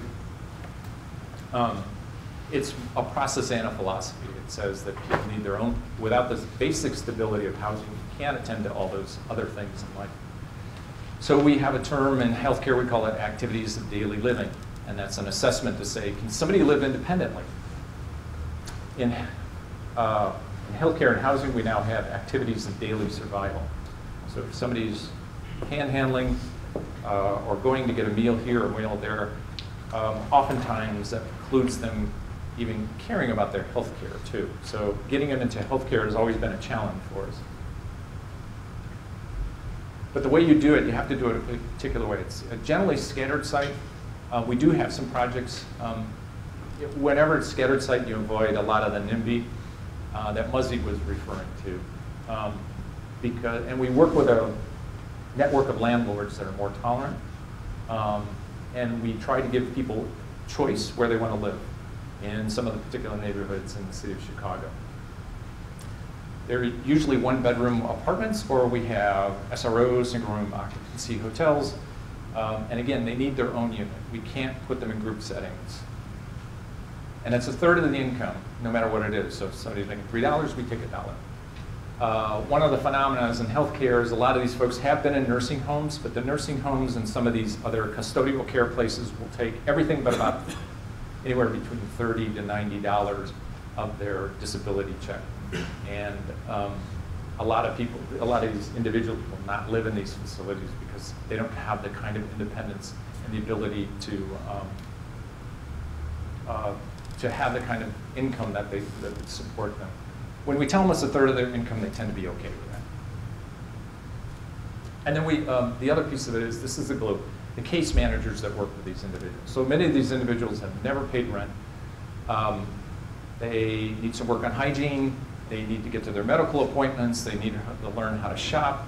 Um, those are all life skills that the supportive case managers help. And the supportive case managers often arbitrate a lot of things between landlords too. And the effectiveness is really high. So two-year retention rate is about 80 to 90% versus 20%. Um, because they just need a little bit of help, and the reductions in healthcare, depending on the studies you look at, are very impressive. So our program was a $250,000 pilot. Uh, we partnered with Center for Housing and Health that worked with 28 supportive housing agencies, representing about 150 units. The other thing we learned is that we needed outreach workers because we couldn't discharge people from our emergency department directly into this program. And we had to teach our social workers to say, ask these individuals, where do you hang out? So most of the chronically homeless we work with have about a four to six block radius of where they range around. And we just need to know where that is and then specifically any time thing. So if there's a feeding program in a Catholic church on the south side on Wednesday afternoon, that's where we're going to go to try and find them. And it's worked very well. Generally takes us a week to three weeks to find an individual. So um, in our first cohort, we had 26, 27 individuals. Um, We reviewed over 60 patients.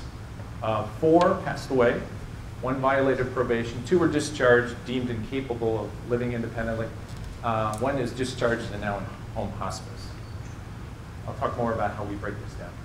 I won't go into a lot of this for you in healthcare. Thing is, we eliminated discharge from our vernacular. It's now a transition. Some of these folks will take us weeks to months to place once we've identified them. You have to build a relationship with them, and the outreach workers are part of that care team as well as our internal social workers. So our lesson number one, it's a dangerous health condition. So uh, for those of you who don't know, the average life expectancy is about 25 years less than the average American. The range of death somewhere between 42 and 62.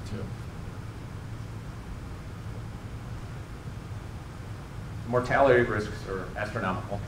Um, the mortality risks of these individuals are, the five-year mortality rate is very similar to some types of cancer. Not the glioblastomas, not the pancreatic cancers of the world, but some of the mid-level cancers where there's moderate mortality. It's the exact same thing. And the way that we respond in healthcare is kind of curious. So somebody comes in and they've had uh, worst headache of their life, blurred vision, they've been nausea, vomiting for three days. We will do a head CT, we'll find something, uh-oh, there's a mass, we're gonna admit them. We'll extend their life for maybe six to 12 months. Now, if we had similar mortality, somebody comes in with homelessness, they're gonna die earlier just like these other people are. They'll come in, we'll work them up, we'll discharge them. So healthcare, we're beginning to respond to, what I'm challenging people to think about this as a health condition, not a social condition.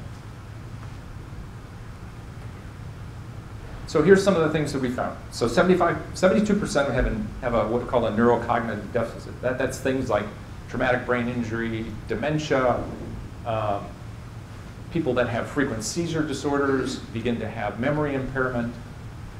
Um, if you drink too much, you might get hepatic encephalopathy, where uh, toxins flood the brain, um, and childhood lead poisoning. And nearly 50% have evidence of a severe um, uh, brain injury. Um, it's dangerous to live on the street. High rates of head and neck cancer, um, about 15% of all deaths in this. We, uh, when we started the program in November of 2015, about June of 2016, we got five referrals from our oncology service.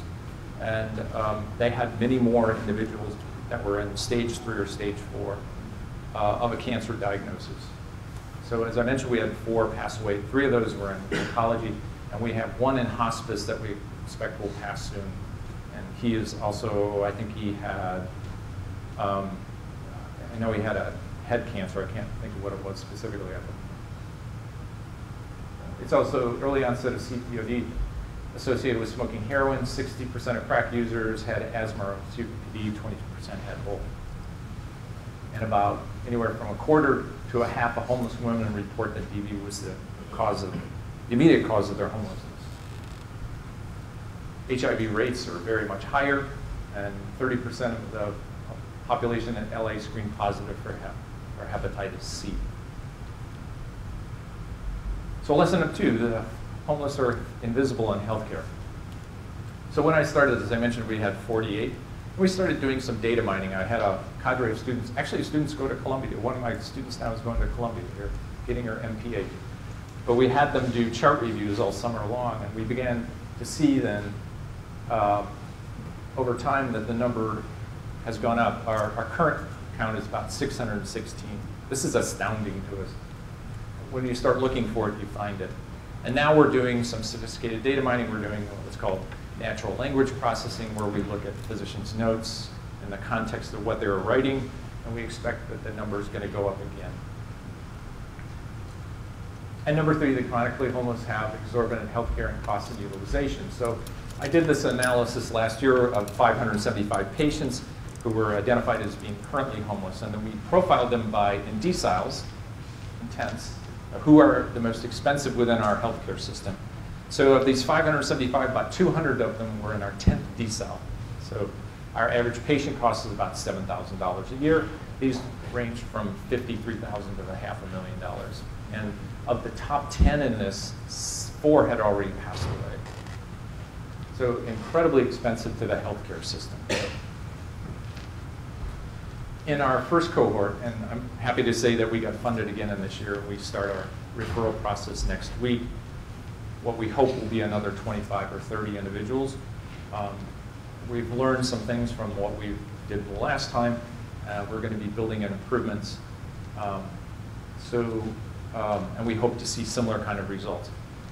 Our cost reductions have ranged anywhere from 45 to, 21 to 45 percent. Our current cost uh, analysis shows a 21% reduction, but we have the one on- outlier, the gentleman with uh, head cancer, um, who's now in hospice, and if we took that outlier out, the cost savings would be 67%. So why would a hospital pay for housing? Um, I'm hoping you're beginning to see that uh, there's more of a case here than just the idea that it's not worth us for us to do this. Um, as I mentioned early on, we are taking more of a population health approach. So here's one of the things that's kind of a best, this is one of the actual things that would shift dollars to the, be able to manage a program like this. So in population health, we have, have something that's called a power law distribution. and when we talk about superutilizers in any state of the union, every state Medicaid agency has the same issue. 5% of their patients drive half of the cost. Huge. And the superutilizers fall into this. To me, that's a glass half full issue because it says that I could draw resources away from paying way too much for these individuals, take part of those cost savings and reinvest them, as Muzzy is doing with his project. That would result in better care, and it's the right thing to do. And it's a wise use of public resources. So healthcare in general, we're moving from volume to value, as I mentioned. The community health needs assessment is driving it. Um, and embracing population health. So everyone in the city of Chicago suddenly has been mouthing the word social determinants of health, of which housing is a key element of those things. Um, in the state of Illinois, the state has said they contracted out to managed care organizations. They saw no cost savings. They just rebid and they said, you need to save us money or you need to get out. And so this is, we anticipate MCOs engaging with us. We have had several conversations. MCOs will pay for this, but they don't want to pay for everybody. But if you can point out the superutilizers that have very high cost and utilization, they will make strategic investments. And my ro- role then is to identify who those individuals for those managed care organizations so they will make the strategic investment. It's also recognizing that it's a deadly social, social and health condition. Um, that we should be paying for this because these folks are very, very ill. And they would do much better if we just took a, if we put together a program in a way that would result in them be, being in housing after two years and doing much better than they currently are. I have individuals like, when I talk about neurological issues, I have an individual who's 38 years old. Uh, we look for what we call trimorbidity, psychiatric illness, substance abuse, and homelessness. And we try and figure out what's going on. Well, he didn't have a severe mental illness. He's not a substance abuser. Very nice gentleman. But on the interview, when I talked to him, he couldn't remember the name of his two brothers, the elementary school he went to, the name of the street he grew up with. And we did a very brief assessment. It's called a MOCA. Um, takes about 10 minutes. And he scored, I think it was a 9 out of 30. Now, that's worse than dementia. Um, and this guy's 38 years old. So the difficulty with someone like that is the etiology of these individuals, it's hard to determine. Was this an intellectual disability? Was it lead poisoning? Was he, does he have a traumatic brain injury? We can't determine the origin of it. We just know that it's significantly impaired. If you can't remember and you can't plan, how can you, you know, how can you ever get off the street? Um, he's going to need a little bit of help. The other thing is that's really promising is so um, I'll come back down. Hold that thought. So before Housing First, the emergency department, 45% of our top 100, 30% of our top 300, two hour, two hour longer length of stay, uh, contributing to the overcrowding, and about 10% of what we say we, we call left without being seen. It's a key metric that all emergency rooms are assessed on. 10% of those people were chronically homeless, so people are getting up and walking out. Um, after we did this, we saw this drop in utilization, drops in costs, and improvement in our provider satisfaction. Um, we find that our providers frequently now point out these individuals and are very encouraging in speaking to other emergency departments, encouraging them to do the same thing too. This brings me then, this is one of my final slides. Um, this idea of an anchor mission. A lot of hospitals are realizing now that it's just not providing just health care. Um, it's health care to the community in which you serve. 78% of the hospitals in the United States are, are nonprofits, and they have to demonstrate community benefit. Um, if you've ever seen a community benefit statement, they can, they, they can be the height of chutzpah sometimes. They're four color, they're very glossy. Oh, these are all the great things that we're doing. But in reality, only about 5% of the dollars com committed to community benefit are really for community benefit. It's really an operating margin thing. They can claim uncompensated care. It's a financial strategy. And there's a number of more advanced community organizations that are now starting to strongly advocate with their hospitals to take on more of an anchor mission. In Portland, there are 11 hospitals, uh, four health systems, um, have committed $21 million. And when you talk to Peter Rapp, the CEO of Oregon Health Sciences, he will tell you one of the reasons that he invested in this was because his community organization was reading between the lines on their community benefit statements and strongly advocated uh, for them to do things that actually move the needle on the health of the community in which they serve. And we're beginning to do this now. We just started on the west side of Chicago, the West Side Total Health Collaborative. All the hospitals I mentioned earlier are participating in that.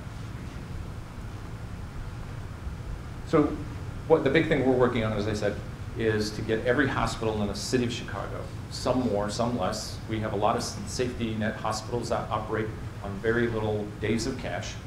Uh, but if everyone in an idealistic world were to take on 10, we could reduce the number of chronically homeless in the city of Chicago by a quarter or a third. That's, to me, is major impact. And that's a good start. Oh, so what else have we learned? This is my last slide. Um, just got our data scientist degree to do an NLP project.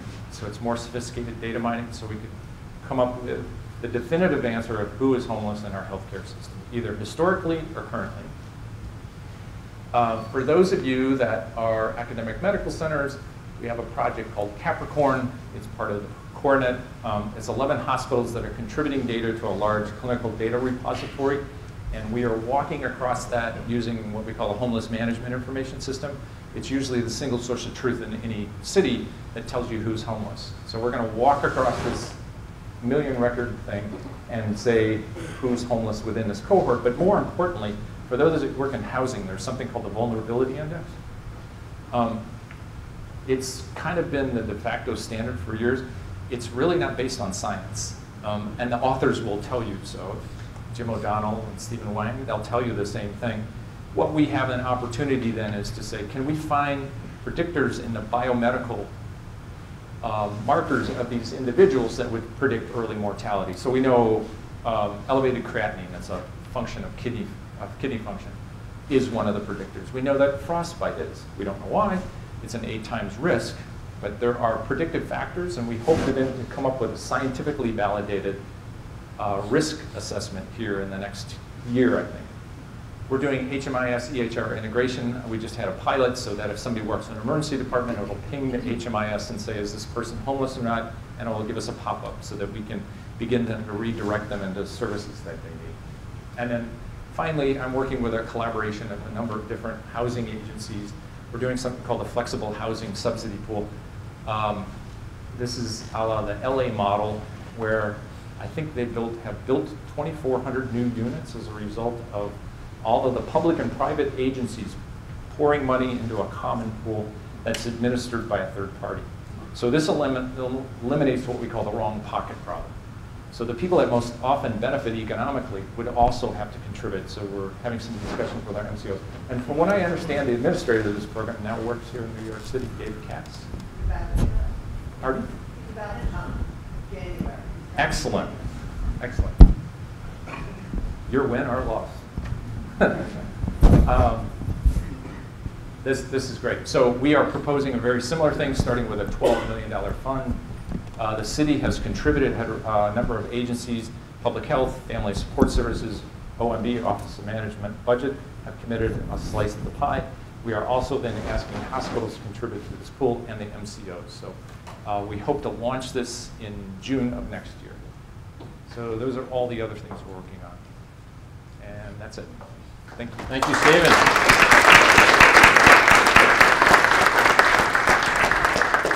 Questions?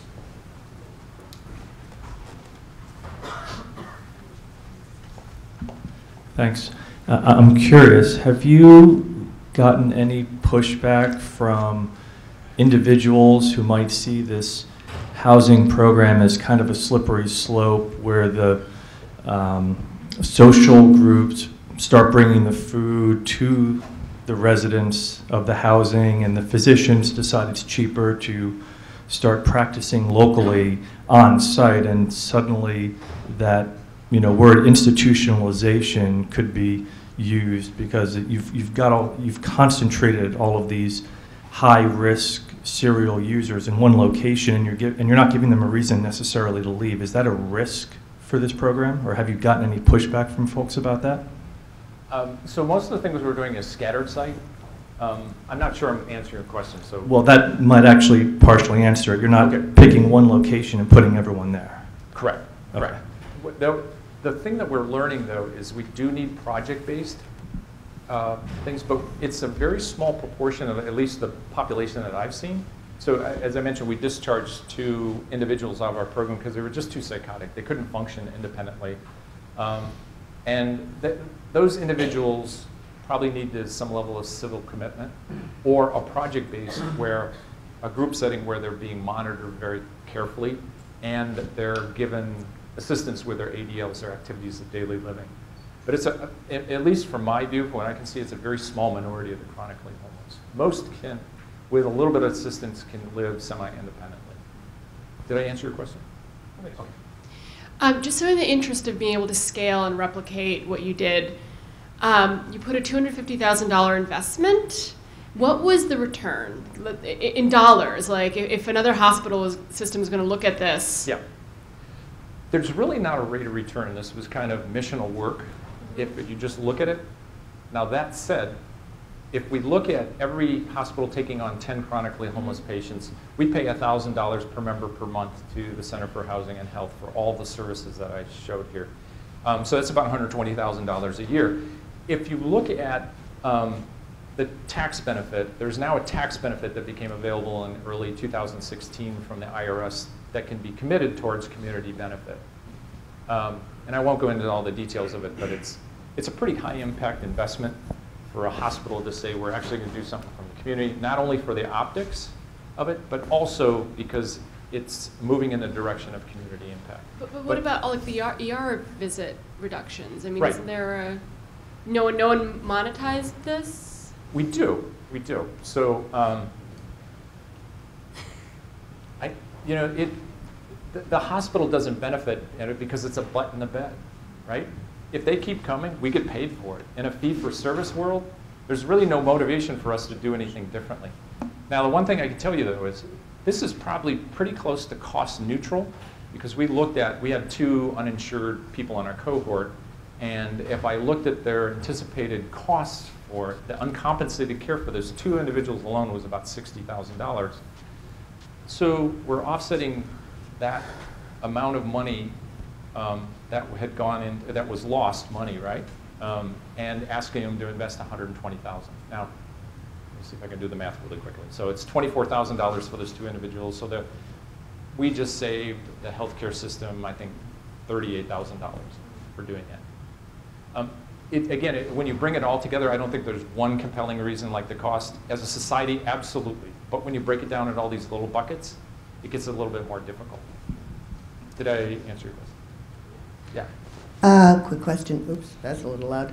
Um, uh, for the MCOs, how do you protect against churn and the MCOs losing that, tho- that, those 10 members over the course of time? Oh, so you mean they, one system, they go from one MCO to the other? Right, right. right. So we are actually asking the state Medicaid agency to, to create, to, every one of them need to invest in the flexible housing subsidy pool. So again, you know, they could argue, oh, he's not with us, he went to this other MCO, we're not going to pay for him any longer. So the flexible su- subsidy housing pool would eliminate that. Yeah. Oh, I- Sorry, I think He's got the the mic. You can have next. um, earlier, we heard earlier about um, how fiscal restriction at the federal level has prompted some sort of innovation in uh, homeless services in New York City in the case of the BRC. I don't know a lot about homeless services in Chicago, but I have read in the news that the state and the city are under a lot of fiscal strain at the moment. How has that affected your ability to innovate in, in your work? Yeah, so we had a crisis, we had um, a little bit of a standoff. That has been resolved, and the state is now beginning to pay its bills. Um, The longer-term issue is, do we pay penny wise, pound foolish in this? Because, again, we could be reducing the amount of money contributed to this issue if we were much more prudent and more strategic on where we invest our dollars. Um, Something else I was going to ask. Oh, uh, the other thing too, so uh, we have applied for a CMS 1115 waiver, just like New York has here already, um, which would allow a reallocation of the pre-tenancy dollars. Medicaid won't pay for housing, but they'll pay for the services that go along with it. So again, we could reduce the cost of overall services and be compensated for it for the social workers in our program or the case managers or the outreach worker. Those are all pre-tenancy types of services that would, could be compensated under an 1115 waiver. Last question, if there is. Uh, front. I apologize in advance for the, uh, the lack of uh, sensitivity um, of this question. Um, But uh, it- it- with the exception of the people who are in this room, who actually care about the homeless population um, in our community or in our country, most of the middle-class people, um, you know, their idea of dealing with homeless is to go to the, across to the other side of the street.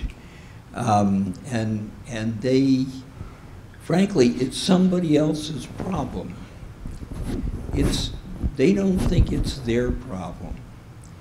And I, I think that there's a certain amount of PR that it, it, it, it may be done, it certainly can be done, but how do you get the message out to the middle-class people in this country that those dollars that are getting squandered on a very, very tiny fragment of our population, how do you demonstrate to them that if they would care and maintain this population, that you could bring a huge benefit to a much greater group of people eh, within the middle class because everybody has taken it upon themselves to say, gee, you know, if we did a little better over here, there's a whole bunch of things that we could spend this money on that right now we're not.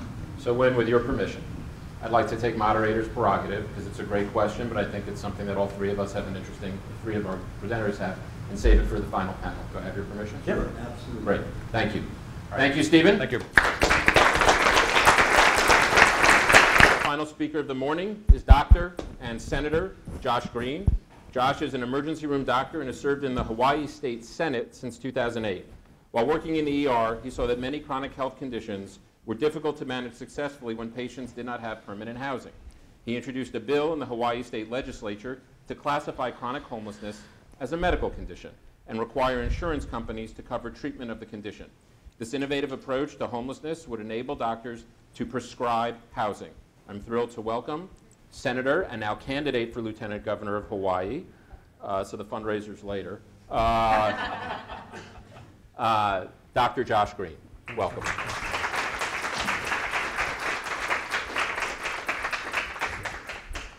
Aloha, everybody. Can you hear me okay? So I, first, just a couple quick thanks. Um, thanks to the two previous speakers, fantastic. And I'm going to address a lot of the issues that they did as well. Hopefully, it will tie uh, this morning together. Uh, Muzzy, Rebecca, Shira, David, um, BRC, thanks for having me all the way from Hawaii. It is terrible in Hawaii. The weather's awful. It's a, it's a hard place to live. So I'm glad to come back to my roots. I was born in New York. And, uh, and um, William R. Kenan Charitable Trust, you guys are phenomenal for doing this. Before I get to my slides, Craig. Craig is dead. You all know Craig. Craig died two nights ago. I was on call at the hospital. We have a severe shortage of senator physicians in Hawaii, so I still do call. And uh, he died on in room three in my emergency department. He is someone you've all spent a lot of time with. He's a 58 year old, was a 58 year old until two days ago. Beautiful man, big beard, looked like Gandalf. Heroin addict for many years, homeless in our community. Uh, went to cardiac arrest while gardening uh, near his girlfriend. And they brought him in. We did the usual epinephrine and amiodarone, tried to bring him back to life. I'd seen him in the ER 40 times, maybe, in the last 13 years that I've worked in the hospital. Uh, just a really special person. He is a reflection of the points that uh, were made earlier today about the lifespan of an individual who's homeless. So, okay. You smoke, I smoke. Public health questions. I'm glad we're blacked out in the middle there because there's a senator I hate right in the middle who has killed many of my bills and won't pass some things that we have to do that you've heard earlier today. Um, prevention. Prevention is key. Prevention of an enormous uh, health condition, homelessness, would save many lives, many dollars, um, many hearts, many families in, a, in our state and our country. Okay, I'm going to talk a little bit about the weird road I've had because it, it uh, informs some of the things we're talking about today. So I was flunking out of Swarthmore College almost, 1988. Rob in the back, my best buddy from Swarthmore is here. He's, yes. and I went to, uh, I went to India as a, a semester away, uh, traveling around the world doing some, I was a research assistant, they paid for it. On the train in India, a guy came in onto the train with uh, three withered limbs selling food. I thought to myself, I can't continue to screw up, you gotta give back. Um, I'm Jewish, so my parents said become a doctor, and I decided, okay, I'll do it. I'll go back to Swarthmore, I'll get my act together, and try to give back in some way. I didn't want to be a doctor that prescribed a lot of Valium in the countryside uh, or my little um, suburban hometown in Sewickley after we left New York, so I thought I'd do uh, humanitarian medicine if I could. So I went to medical school, Hershey Medical School, which is Penn State, lived next to the Reese's Peanut Butter Cup plant for three years. Peanut butter cups are so fresh that you can bend them and they uh, touch both ends. Smells terrible by the end of the day, though. It's, an, it's one of those things that now it's torture every time I smell peanut butter. So, got out of med school early because now I'd got my act together and went to Swaziland, inside of South Africa, tiny little country. And we did humanitarian medicine. I did medical missions uh, at a Nazarene church and a Catholic church, where they were uh, at the Nazarene church embezzling all the funds. And they took my passport at gunpoint and said, You're smuggling drugs in, because we were. We were smuggling in antibiotics to treat uh, disease and HIV/AIDS. HIV/AIDS rate 58% in our little hospital there. So really, the, hos- the hospital was what you can imagine, which was an orphanage also. So I started seeing all these things, and I decided I didn't want to be a traditional doc. I went to the National Health Corps and said, send me somewhere where I'm needed. I'll go work in a prison or something. So they sent me to Hawaii, of all places. Disaster strikes, right? So now I'm in Hawaii, working in a little place called Ka'u, very rural though. Uh, it is actually considered a frontier, less than four people per square mile, where I saw chronic disease, lots and lots of untreated mental illness and drug addiction, and what did I start seeing? Homelessness. Worked in Ka'u in the ER, uh, saw two kids um, dropped on their head. One actually dropped on his head, died. Year old. Parents were on methamphetamine, which is our big problem in Hawaii. A month later, uh, the parents were passed out on drugs, and the grandfather was taking care of the baby but didn't realize the toddler walked behind his car. Grandfather drove back over the one year old, crushed his head. We saved his life. The nurses saved his life. I did a small part. Thought to myself, I better do something more. Um, so I ran for office. Fortunately, I ran against a drug dealer, a coke dealer, uh, and was elected.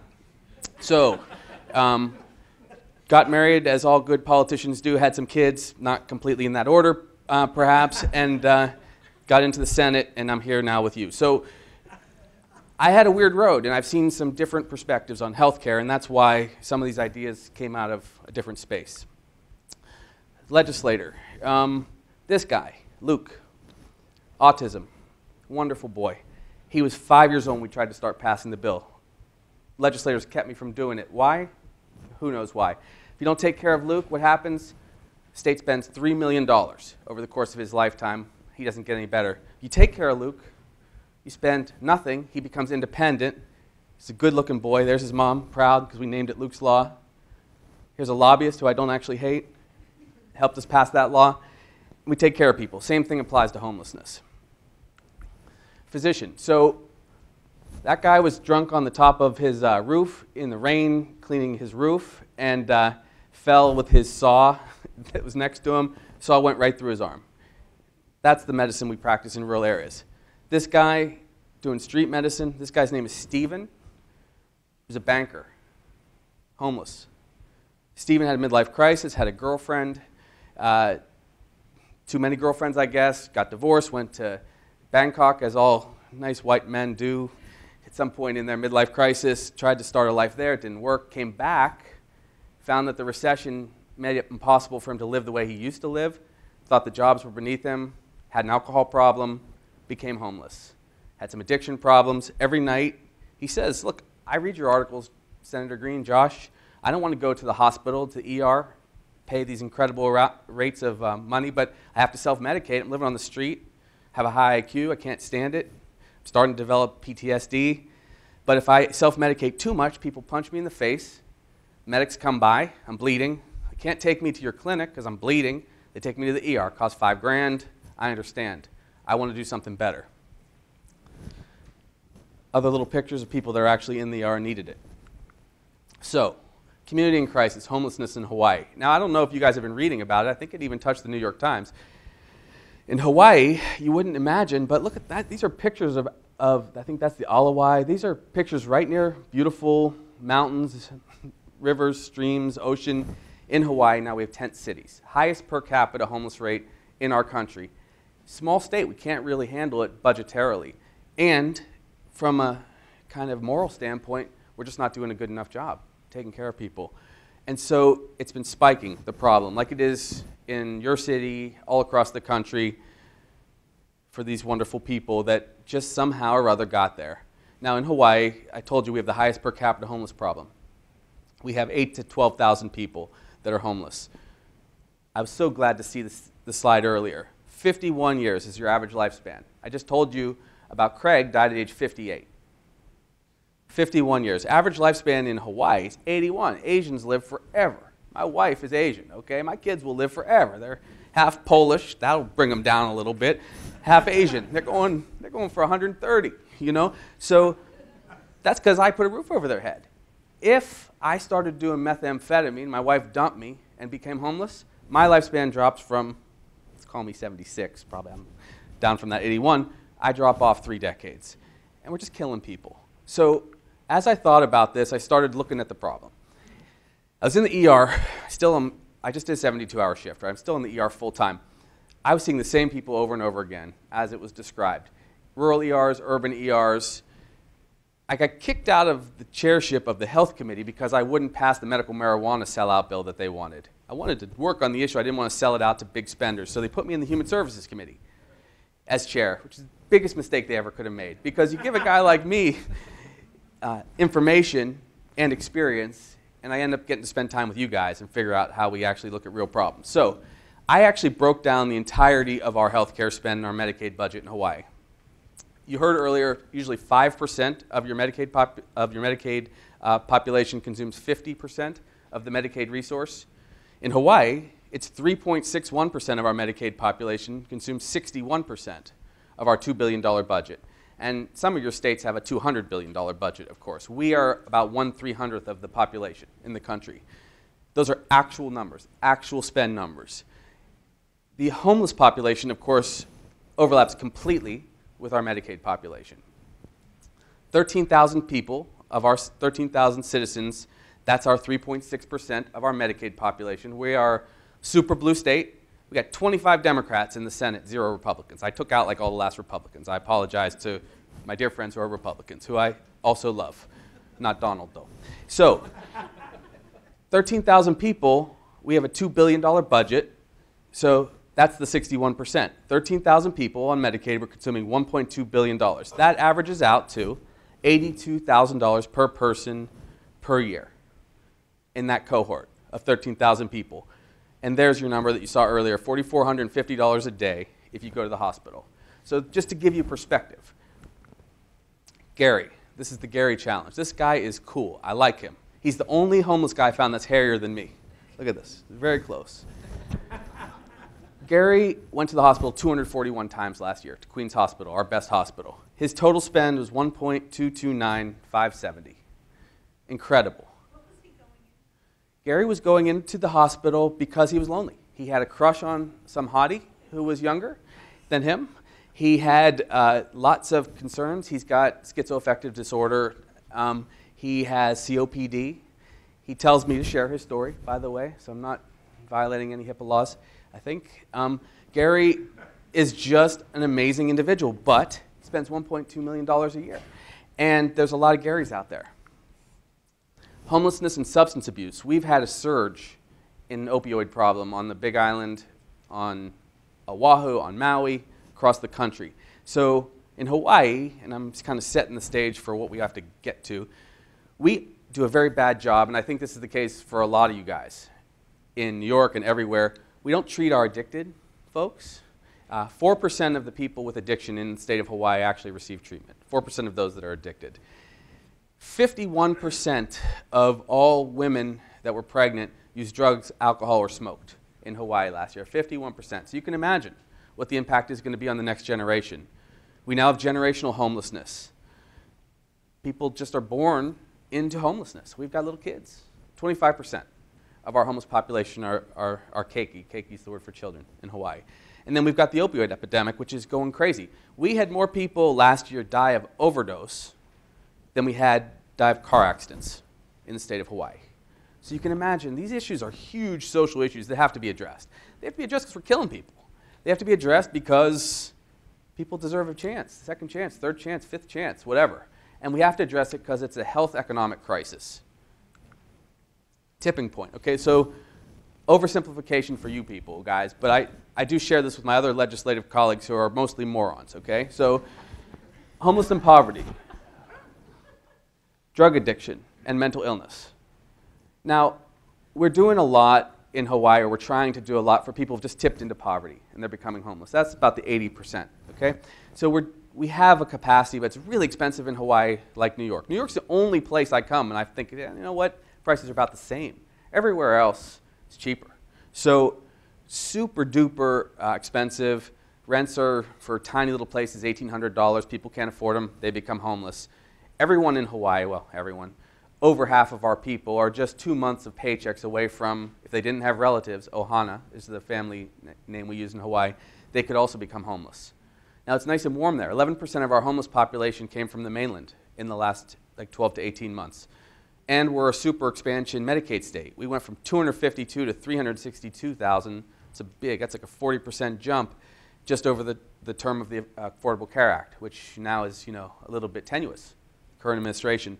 So we take care of people. That's a fourth of our population on Medicaid. Drug addiction, I told you earlier, we're not treating anybody. It's a disaster. Mental health.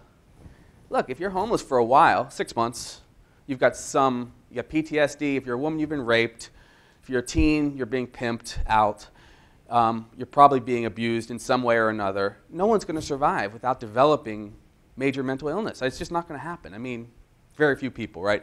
And then we've got ground zero. Right in the middle, that's the, uh, you know, I'm not the expert, but that's about 10%. And 10% of our 8 to 12,000 becomes our chronically homeless population, are at ground zero, right in town in, in Oahu, in Honolulu. They're having a real hard time, and they're spending those giant amounts of money. So, you guys, New York has the same problem. I took some of this from, of course, the you know, New York Times. I'm talking to you guys. New York City homelessness, greatest level since Great Depression, was reported. Just what is it, 10 days ago, the story came out that one in 10 New York City public school kids were homeless sometime last year. Goes on and on. So, crisis everywhere. I did the same talk in Los Angeles. huge surges, and huge surges in both from a humanitarian standpoint, how we take care of our people in America, but also how we can possibly handle the economic consequences and still take care of all the other things we need to do in society. The big picture, right? These were uh, counts on any given day. Uh, over 500,000 people in America were homeless, surges to 3 million at some point during the year. 25% of the population are children, like I said. 15% were chronically homeless. Of course, these numbers are up for small debate here or there, but these are basically the numbers. The veteran population, critically challenged, there you go, the American flag. 45% of chronic illness, chronic disease. Uh, the head of HUD actually said something which I appreciated the other day. He said, You've got chronic disease and you're homeless, you can't get treated. You know, Ben Carson. Can't get your meds. You lose your meds. They get stolen. They get wet. Your pills get wet. You can't take your, your schizophrenia medications.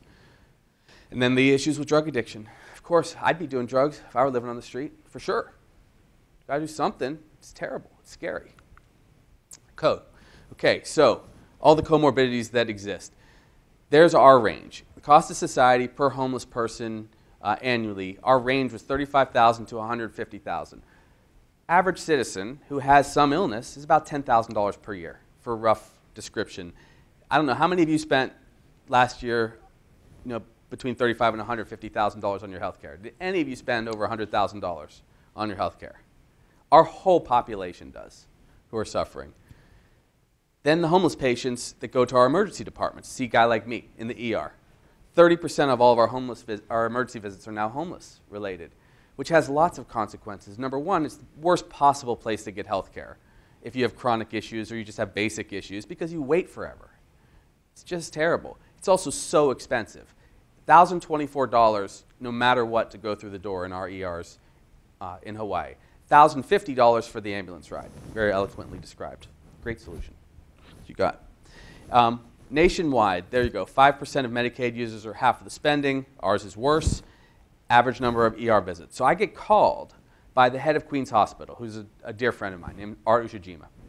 He calls me up one morning, knows I get up early, and says, Josh, we got to solve this problem. You're now the head of uh, the Human Services Committee, and you see this. What are we going to do? Our hospital, which is the best hospital for sure in the state of Hawaii, big foundation, is going to crack. The foundation is going to crack because of our uncompensated care, because with 30% of our ER visits from homeless individuals who he loves. This is a guy who's totally mission driven, heart of gold. He just actually can't pay for it anymore. And he has paying patients on the traditional, you know, uh, Blue Cross Blue Shield, whatever, uh, services coming and leaving. They're the ones that were leaving because the wait was too long, or because they had a problem themselves, a bias against a homeless individual, or they just thought they were going to get an infection from a guy who had MRSA they're pretty savvy consumers. He was losing opportunity costs. He had 50 beds a day that were occupied by people he couldn't discharge because he wouldn't send them back to the street because he was crestfallen about it. But that meant 50 people that had had a heart attack or were getting treated for their malignancy or whatever couldn't be in beds that they needed. Even though these individuals had now gotten basically better, but they had nowhere to go and they were going to get worse, be back in the ER, still spending money. So we had to solve the problem. Housing is health care. I believe this. This is actually treatment. The moment you provide a roof over someone's head in Hawaii, their health spend drops 43%. 43%. Seattle, it's 55%. LA, 50%. So if you provide housing, if you can find housing, you can decrease the healthcare spend incredibly and do what is genius what Muzzy and his team do, what the board has authorized to do. You guys are absolutely brilliant. You can actually change your models and pay for the housing. We should be funding housing with healthcare dollars. That's what I'm coming to. Look at this guy. This is his house. A, parasol on a beach. Who's going to go to that beach? We rely on tourism dollars. You guys come spend $300 a day in Waikiki pays for our health care and our public schools and whatnot. This guy's suffering there. He's drinking vodka, probably. He's hurting. This is his house. And he spends $120,000 a year at least in our healthcare system. And it breaks our heart. Now, here's the benefit. We've talked about some of this already. Health complications. Every other health problem you've got is 10 times worse if you don't have housing because you just can't get better on any day of the year. High levels of stress. That's why you die at age 51. Your catecholamines go up, you have strokes or heart attacks. Basically, we're killing people by putting them out into the elements. There's not much element in Hawaii, but there's an element of getting beat to a pulp or raped. That's an element. Cleanliness challenges. What do homeless people tell you they need? Socks, right? First thing you talk to anybody, they say, just give me socks. My feet are wet. I don't want to get foot ulcers. I get infections. But once you're infected and you're out in the elements, it's very tough. And we have the tropics to deal with. We've got kind of funky infections out there, I can tell you. It is very tough to treat. I, I have rat lungworm disease to treat. We've got dengue fever outbreaks. And then imagine if you're living without a home. Nowhere to store prescriptions, crisis. Even though I hate prescription drugs in general, notwithstanding those who may be funding our talk today. Exposure to the elements, heightened risk for injuries. Everybody falls and cuts themselves, but if you fall and cut yourself without a home, you don't get a laceration repaired, it becomes a hospitalization, becomes a seven-day hospitalization. It becomes renal failure if you get the wrong bacteria. And then you're on dialysis for three or four hundred thousand dollars a year. Big problems. Benefits of housing: 43% savings, like I said. Now, if Hawaii's 1,800 chronically homeless, which is a 15% number, I'm using the 15% number because I believe our number is 15%, we would save $300 million plus in our Medicaid right away. And that's after, after cal calculating the cost of paying for housing first, which in Hawaii is $1,800 a month, just so you know. That's what our costs are to wrap around services. So what did I do? I wrote a bill. This kind of looks like a looks almost like a painting now. I don't even know what's going on with this picture. Um, classify homeless as a medical condition. Right out of the gate. Stop screwing around. Call it what it is. People want to say it's a social determinant of health. That's fine. I don't really care linguistically. But it is a medical condition if you live three decades less. It is. It's a health medical condition, a health economics condition. I don't know what anyone's going to tolerate as far as the discussion goes. But if you want to save money, here's what you do. You allow healthcare providers like me to pull out a prescription and prescribe housing for chronically homeless. Now, first thing everyone says is, what do you do? What are you talking about? You're going to write housing, three months? You bet I will. I just told you how much it costs, $1,800 a month. Is that expensive? It's $1,800 a month. Just check out what I can spend if I'm treating your hepatitis C. $135,000 for nine months of treatment in the United States. By the way, it only costs $2,000 in India. Different negotiated price. But I could prescribe hundreds of thousands of dollars of medications really quickly. I could prescribe antibiotic pills that cost $800 a pill. Why wouldn't you let me prescribe housing? It's still going to be vetted. It's going to go through the insurance plan. The insurance, uh, um, you know, the, uh, the HMOs and all those guys are going to look at it. The managed care plans are going to say, wait a second, Green's prescribing housing again. Why? Well, he's prescribing it to those 10 people Stephen figured out really will benefit from housing. Because the moment I do it, what does it do? Saves 43%. You could spend that money on anybody. Punchline spend 2% of your Medicaid budget to save 10% against what your Medicaid budget would have spent. You save five times the money, and you house people. I put that prescription out, it goes to two people then. It goes to the insurer and it goes to our housing agencies. They both look at it and say, is this person chronically homeless? Do we have the data? Well, who are these people? Ask any ER doc, ER nurse, or social worker. They know everybody by name. They know their top 300 people in every town, every city.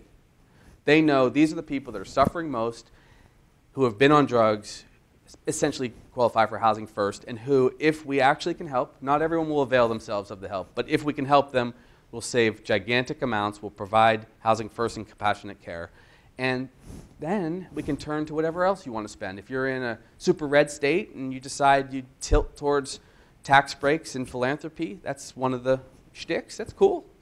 If you're like a left winger like my mom or my Uncle Wayne who's here, spend it on the, the coolest stuff needle exchange programs, treatment for any kind of mental illness or drug addiction. Straight up build housing. But do it because you're going to take care compassionately of people and you're going to save money and a lot of money. Proudest day I ever had as a legislator woke up and I heard that both Rush Limbaugh and National Public Radio both supported this idea. Same time, same day, for different reasons, right? Rush Limbaugh said, There is a liberal out there that wants to save money. I love it. National Public Radio said, There is a social activist that wants to help people. The solution was the same, but it was really just meant to deal with homelessness in a different way. I skipped one, sorry. So, what do we do? So, they killed my bill, or it's in hold, passed through unanimously through the Senate. It's in the uh, House Finance Committee. Uh, maybe it'll pass, maybe it won't. We have to do a 1115 waiver like everybody else does. I said, do your 1115 waiver and actually push the envelope. Push it to the point where you ask, actually ask to pay for housing. Don't BS around any longer. But they wouldn't do it yet. It's going to take time. There's five other states that are considering this legislation now. I've talked to the governments of Spain, let's see, Spain, uh, several countries called, actually, the Philippines. Um, I think I talked to the guys in Morocco. Uh, the Brits called, all interested in doing something like this because they just see it's a different way to spend resources.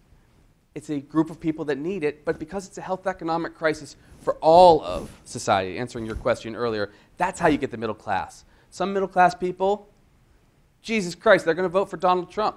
But they also do care about the guy who's homeless or peed on their car or is just suffering or who they knew when he was a child or she was a child. They love that person, but now they're suffering. So they'll do it, especially when you make the case. And you got to make the case big and bold. Um, you alleviate the medical and financial strain on your overtaxed ERs. It's another benefit. But here it is. This could be you and your family out there. Then what, right? I mean, it's very real. So my guys wouldn't pass the bill and just do it simply as a, as a test. So I partnered with the rich people that I know. And I went to Queen's Hospital. They said, we got to do this. We'll pay. We'll pay anything we can do to help create your program. HMSA's, Blue Cross Blue Shield, they gave me $8 million last week to do this program. We're starting what's called H4. H4 stands for hygiene, first floor. The county bought this big building for me. Healthcare, second floor, comprehensive healthcare, free anybody that comes and wants it. Stay out of the ER, don't get admitted. Housing, I rented the whole third floor for $302,400. So we're going to put anybody that wants to come in that's coming down out of the hospital, we're going to make a fortune on that floor. Not on the backs of the homeless, but we're going to make it because we actually save all those ER spends and hospital spends, fourth floor long term sustained housing. All these guys were in on it. Hawaii Community Foundation, we've got one billionaire that wants to support it. Regional community health centers. I went and worked in a community health center, my National Health Corps assignment, so those guys are all partners, get better reimbursements. EMS and police, they said, we'll do anything we can to not take people to the ER, but legally we have to if they call, so we're going to call you first. So we've got two vans. We made Honda give us two vans. Community thought leaders, everybody wants to do something now that they're aware of the problem because there is no NIMBY anymore, it's everywhere everybody in Hawaii is one order of magnitude or degree of separation from everybody else. And then finally, just people who have um, become passionate advocates. And we've got hospice, we've got everybody involved. Last couple slides healthcare reform, combating our physician shortages, all ties in. It's my daughter, dressed as a nurse, I don't know why. Uh, lost that tooth. Um, I say do universal health care, two year public service, pay for everybody's training social workers, doctors, um, nurse practitioners, uh, PAs, because we do already have a socialized system. It's just called Medicare and Medicaid, putting them together. Actually, treat drug and alcohol problems and make housing a healthcare condition, and you help save America. These are some of the stats on Hawaii. Not everything goes according to plan. Look, okay? I've got campaign problems galore. But I do know with philanthropy, political will, and positions of leadership, which is you, we can do incredible things. So when you leave here, okay, when you leave here, please make whatever you learn, whatever decent points you derive from the two excellent speakers and then me, make a point of sharing this stuff. We'll give you the slides. What you can take and make work in your part of the universe makes a huge difference. You have no idea how many people you touch anymore. That's the way we make this work for the country. Thank you. This is us being rich folk on Martha's Vineyard for free with my uncle.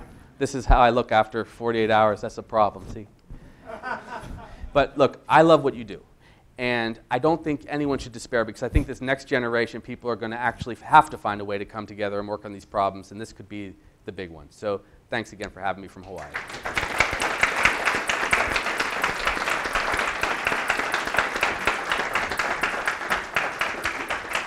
Questions for Josh? Um, your, your housing bill, it sounds fabulous, and housing is healthcare. I mean, with something that we've been saying here for a while in New York. Uh, a couple years ago, we, we did an 1115, New York did an 1115 waiver, now referred to as our DSRIP funds, for almost $10 billion. Um, the initial application was actually looking at using a good portion of that for housing, and CMS actually denied it. Um, is your bill, is it looking at using state funds? Are you using, looking at bringing in actually the, the federal Medicaid dollars also? How are you, how are you looking at that? I think what we do is it should be the federal dollars. Although I am indirectly using state dollars, we're doing the state waiver. It is possible that we'll get approved. It's a really interesting thing because we know that we could save 43%. What did the feds say they were going to do with block grants, which are evil? They were going to decrease us by 40%. What does um, Brent James say? Just recently left, I think, uh, the organization Intermountain Health. We could say 45% on healthcare. These numbers are not a coincidence. I don't want them to cut our budgets 45%, but the realization that we can shrink certain expenditures by about that amount makes it so compelling that eventually, I think, as we hit our next crisis, whatever that budgetary crisis uh, circumstance might be nationally, it'll be an opportunity to do it. Amazingly, Ben Carson, I'll mention him twice now, as scary as that may be, said the same thing, basically. He presented this concept, saying that we could save a lot of money and, and, and do it in a good way for people. So I think it should be federal. I think that if we make the compelling, for this administration, economic argument, then we can make the social arguments at the same time and do it. I, because I'm very restless, as you can tell, I decided I would just use the private sector. So what I'm doing is I'm spending 8 million to save 40 million in my own state's Medicaid budget in the next year. That 8 million is coming from the insurer. We have basically a monopoly uh, where we have just one insurer for the whole state of Hawaii, Blue Cross Blue Shield, HMSA. And I'm proving the point straight away with really good data, all the best uh, agency types, and then saying, hey, how can you not do this? So we're going to prove it back end first because they wouldn't just straight up give us a trial. Maybe some states will get a trial. I would not be shocked if some of the innovations grants will start allowing this. Also, what they're now talking about, right, is um, for the 1115 waivers, giving full wraparound services.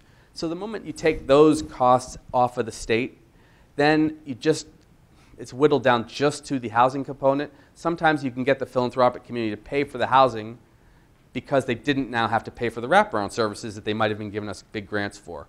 So it's kind of a tricky way that we might get to the same result. Over here.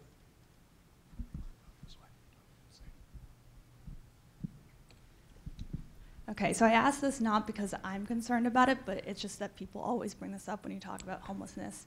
Um, so making housing a medical issue so you could prescribe it, how do you deal with people who are then drawn into the system who might have other options, but because there is this benefit, they take they make use of it? Brilliant question. So, so in Hawaii, the question, everyone hear the question, how do you keep people from abusing the system or taking advantage of what would seem to be a very generous offer? Well, first of all, again, we know very clearly who are the chronically homeless. This, this is not meant to be prescribing housing for all the homeless individuals. It's meant for the chronically homeless, right? Uh, in Hawaii, we have a lot of 25 year olds out there that you could probably characterize as homeless. They're living out of a van, they're making some choice for their lifestyle for a period of time. Uh, they wouldn't qualify because we will be very careful. Just like we vet uh, when we do prior authorizations, much to my dismay as a doctor half the time, they go through a real rigorous process when the cost is high. This cost is going to be eighteen to twenty-five thousand dollars per year, essentially for this prescription. So it'll be vetted very carefully. Not everyone will get it. There will be the regular criteria. If you blow it, like if you are on the liver transplant list and you start boozing up again, that's it. There's no second liver, right? Or you get knocked off the list. There's probably going to be some moments, but we have to be much more forgiving because, as described earlier, our homeless population, especially those with mental illness or drug addiction, have object permanency problems. They can't remember what they were supposed to do four hours ago, right? So they've been traumatized. They have traumatic encephalopathy. They've got all these health problems. So we'll have to be careful. But even if you cast the widest, uh, most generous net, you can't miss because everybody's going to the ER. And if they go to the ER, it costs three grand by the time it's an ambulance and a visit. And God help you if I admit somebody out of sympathy for a day just to try to chill them out. That's another $4,000. That's $7,000 now that I could have spent five months taking care of somebody. So the target is so good that, yeah, we'll miss a little bit, maybe, but we'll help a lot of people. Let me invite Desiree and Steve and Josh to sit down. I, I, find, I found myself asking uh, Desiree, how did you get out of the gate? How was that first year? Was it just a leap of faith where you had some, you had personnel and a commitment, or did you already have um, partners that were ready to jump in? This thing's not working.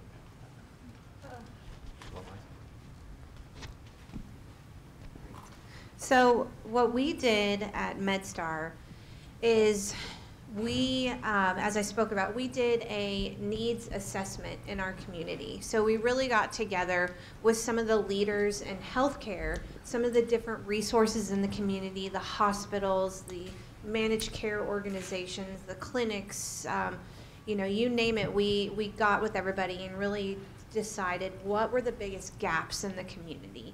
So it was our high utilizer population, it was our readmissions. Um, you know that we really kind of identified our top three that we wanted to to tackle, and from there we first started with our high utilizer population.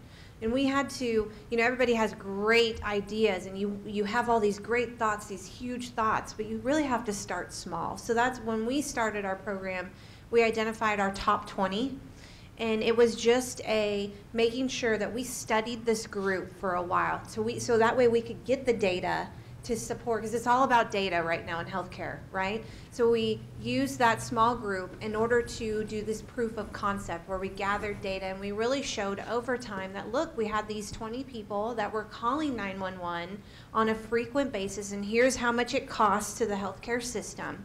But when we stopped sending them by ambulance to the emergency room. And here's where we were navigating them through the healthcare system after one, two years. Here's the impact that it had financially, which not only impacted the ambulance organization, but impacted the hospitals, impacted the clinics, impacted transportation.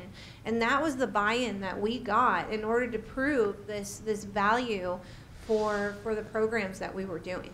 And then they started paying after that because they saw it work? And they did, but you, in order to do this, you, you have to have the data to support it, the financial impact. You can't just go in and say, hey, this sounds like a great idea. We had to go in and say, look, we stumbled for about two to three years with this, but here's the data that we have to, to support how, why this is a very valuable program. I might add to uh, Josh. I love your approach to this because I get caught in the weeds a lot of time, um, and I'm working from the inside out, and you're working from the outside in. And when you work in this space, the great thing is there's always opportunity for discontinuous innovation. Um, somebody will say one little thing in a meeting, and you realize that you totally need to reframe the way that you're thinking about things. So the idea of that, yeah, housing is healthcare. Seems like a basic human right, and a lot, not a lot of people would agree with me on that. But the idea that if you could legislate this in, it would force a, a, a different way of thinking about this that everybody would benefit from. And um, yeah, so uh, I, I just love what you're doing. Well, you know, it's funny. About, the one funny thing about that was, you know, think think about it. Okay, the word housing. Yeah, it's different than amoxicillin. It's different than um, ribavirin. But what difference does it really make if somebody lives longer and the costs come down on their health? What difference does it really make to an insurer that's going to pay it anyway? To a society that's going to have to pay their taxes anyway. Right. So sooner or later, we're going to get there. And by the way, that wasn't housing is healthcare. Really, what happened was we were I was being all wonkish about it, and my um, social media guru, who's like nine years old, right? She uh, she wrote down on a note, "Housing is healthcare, damn it," and that's that became the simplified version of it. Hashtag, of course. Hashtag. Yeah, yeah, exactly. Hashtag. Yeah. Um, uh, so let's go back to the question that, uh, that we put on, on the shelf from Win. Um, and I may uh, uh, add a corollary to it, which is um, how do we get outside this room people to actually care about the people we serve and the work we do and, and, and the things that we've been talking about today? And, and I guess I append to that is do we need get, to get people to, to care in the kind of emotional, communitarian way that I think Win was implying? Or is it just, on the data point, is it just a practical dollar and cents and, and be self-interested and, and, and there's not a need to get people to care? Mm. Um, to your question, uh, so there was a series, was, I think it was called Together We Rise, and it was about the AIDS epidemic that started in the 70s and 80s, and it followed a number of advocates here in New York City. Guy Pearce played the lead. But what turned that movement around was when people began to recognize that it was their sons and daughters, the folks that you spoke about, and that it personalized of, uh, what was kind of perceived as being a marginal populations issue, right?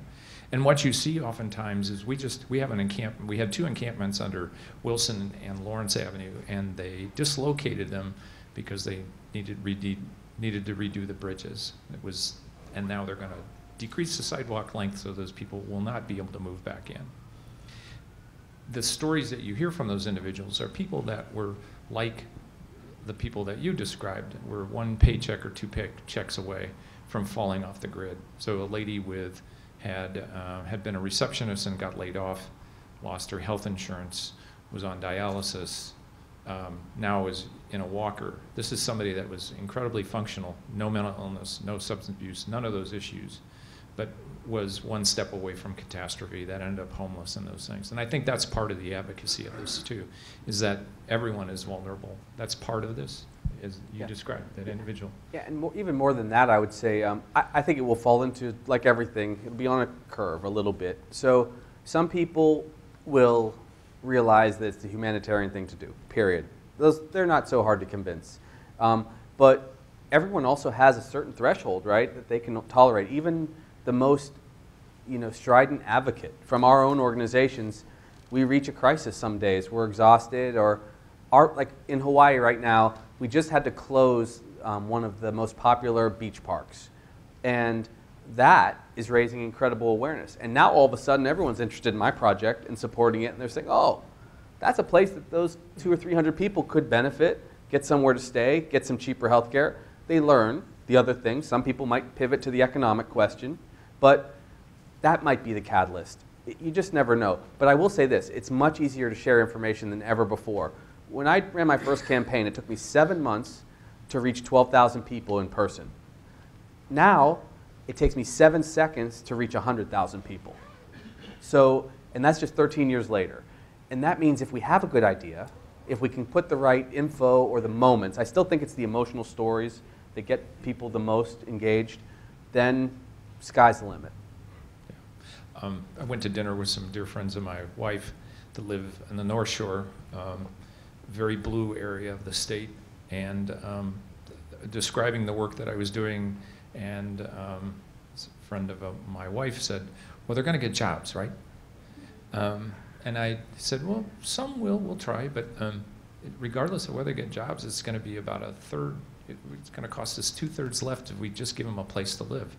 And to her, that was okay. It was like, oh, okay, it's going to be cheaper for us, too. Um, and you just, the other thing, too, that is that generally when I get approached a lot, it's usually on the individual response. What do I do? Do I give them a dollar? Do I not give them a dollar? And I think that's a, we need to reframe that into more of what you're doing, is point people towards these societal issues. And, and we're not doing a very good job of it, to say, here's the three things as a society we need to do um, so that they can plug into and they can influence their legislatures to do the right thing. Because right now we have a very fragmented response of the way we think about this. And we need to give them the infographic graphics, the three bullet points, so that they, as citizens, can be empowered to get their legislators to do the right things. Not, I, I think we need to move beyond the individual response. I think that's important. I think it's that we treat everyone with dignity and respect and we look everybody in the eye and we treat them very politely. Those are all givens. But beyond that, then, we need to give them, empower them to ask their legislators to do the right thing too. Uh, Let's turn it over to the audience. Um, Larry, I see. Hi. Um, You'll have to speak up because I think Yes. we stole the microphone from you. One of the issues of the healthcare debate is that it's, it's healthcare insurance costs. One argument would be that this would, by reducing all these healthcare costs, reduce healthcare insurance costs, premiums and all that. Yeah, okay, so uh, to restate the question, uh, one of the arguments would be you could save on healthcare costs, right? If you, you could decrease premiums if you got better care for people. Um, well, look, for our population, it's very evident that we are spending so much money on a small percentage of people. What happens? There's just cost shifting. So the middle class who are able, Hawaii is interesting. We have a thing called the Prepaid Health Act. 1974, we passed a bill. I was four years old, uh, so long before me. They did great work because they said anyone who works 20 hours or more gets health insurance in Hawaii, mandate. So everyone's insured, essentially, in Hawaii. And then you added the Affordable Care Act, and the last bits of people got insured. But because we're spending an average of $82,000 per person per year on our high utilizers in Medicaid, we have to pay a lot of extra tax dollars. One out of every six dollars in Hawaii goes to Medicaid. One out of six. So the moment we say we're going to make the system actually work, whether it's housing solution or prevention of hepatitis or whatever, we can decrease that amount of money that everybody else is paying into pretty high taxes in Hawaii. There's your sale point. Or the businesses who pay for all the rest of insurance because we have a business employer mandate, they are, their price points are not tolerable anymore. They, when they got up to $400, $450 per person, per employee per month, they themselves said, we don't know if we can sustain that growth. We can't raise our prices that much more. So everyone has a threshold. The moment we tell them we can decrease Medicaid costs by 20, 30, 40%, everyone's going to celebrate because then the private sector guys don't have to make up for that. So we find interesting allies all, all across the spectrum, some of whom are very, very fiscally conservative, but they end up supporting a social initiative or a set of social initiatives because of the economic positive consequences on their part of society. So another uh, hand over here. Yeah, It's I, gonna have to be I wanted- I wanted to ask about, uh, I guess what they call it, social impact investing. I mean, during the Bloomberg years here in New York, there was, I remember talk of they were going to have social impact bonds that you could invest in uh, discharge planning for inmates coming out of Rikers, and that the investors would, if there was a savings, the investors would get some of that as a profit. So it just seems like all these initiatives are for social impact, getting the investor class interested in putting up money, and then they would reap some of the savings as profits. That, actually, I just checked the Goldman Sachs website. They have uh, social investment. They have an initiative in Chicago on pre-K. Yeah, so we had a very successful program. So the autistic young man you spoke about, so that investment in upfront saved a lifetime of cost. I forget what the numbers were. Three point one million dollars. Right. So we did a very similar program with the Pritzker Foundation and Northern Trust and Goldman Sachs, where we invested in pre-K, uh, uh, kids that were generally referred into special education but received early intervention, and it, provi- it prevented a lifetime of excessive cost because a lot of these kids didn't need to be the program if they got early intervention. So um, penny wise, pound foolish, right? As you say, and that's what we're looking at. So part of what we're doing as part of our collaborative is getting the banking industry. Because if you think about this, there are a lot of people that would invest in these programs if they knew they were going to say, if they've saved money. Um, they're not necessarily voracious capitalists, but people that have a want to get some rate of return, a modest rate of return, but also do a greater impact. So we are um, talking about some of those things. I wish we were farther along with it. Um, what we need, what we tend to do in healthcare and housing is we try to push these things out. And I've, we've learned that we can't be subject matter experts in everything. And so what we're doing now is trying to elicit help from the banking and finance industry because investors are always looking for new markets. And this is a perfect opportunity for investors to come into it. If we had like a Goldman playing the underwriting role in social impact. So yeah, those are tremendous, uh, there's a tremendous potential to do more of these types of projects. I'd love to see that with your program too, um, because you are saving so much money uh, over the long term of the program. Muzzy's doing it already too with his program, right? I mean, he's doing it essentially. You it's a different variation. It's an innovative part of that program. But I mean, I was on the plane. I got lucky enough because I have like gazillion Hawaiian Airlines miles, so I upgraded, you know. And I'm sitting next to senior VP of Goldman.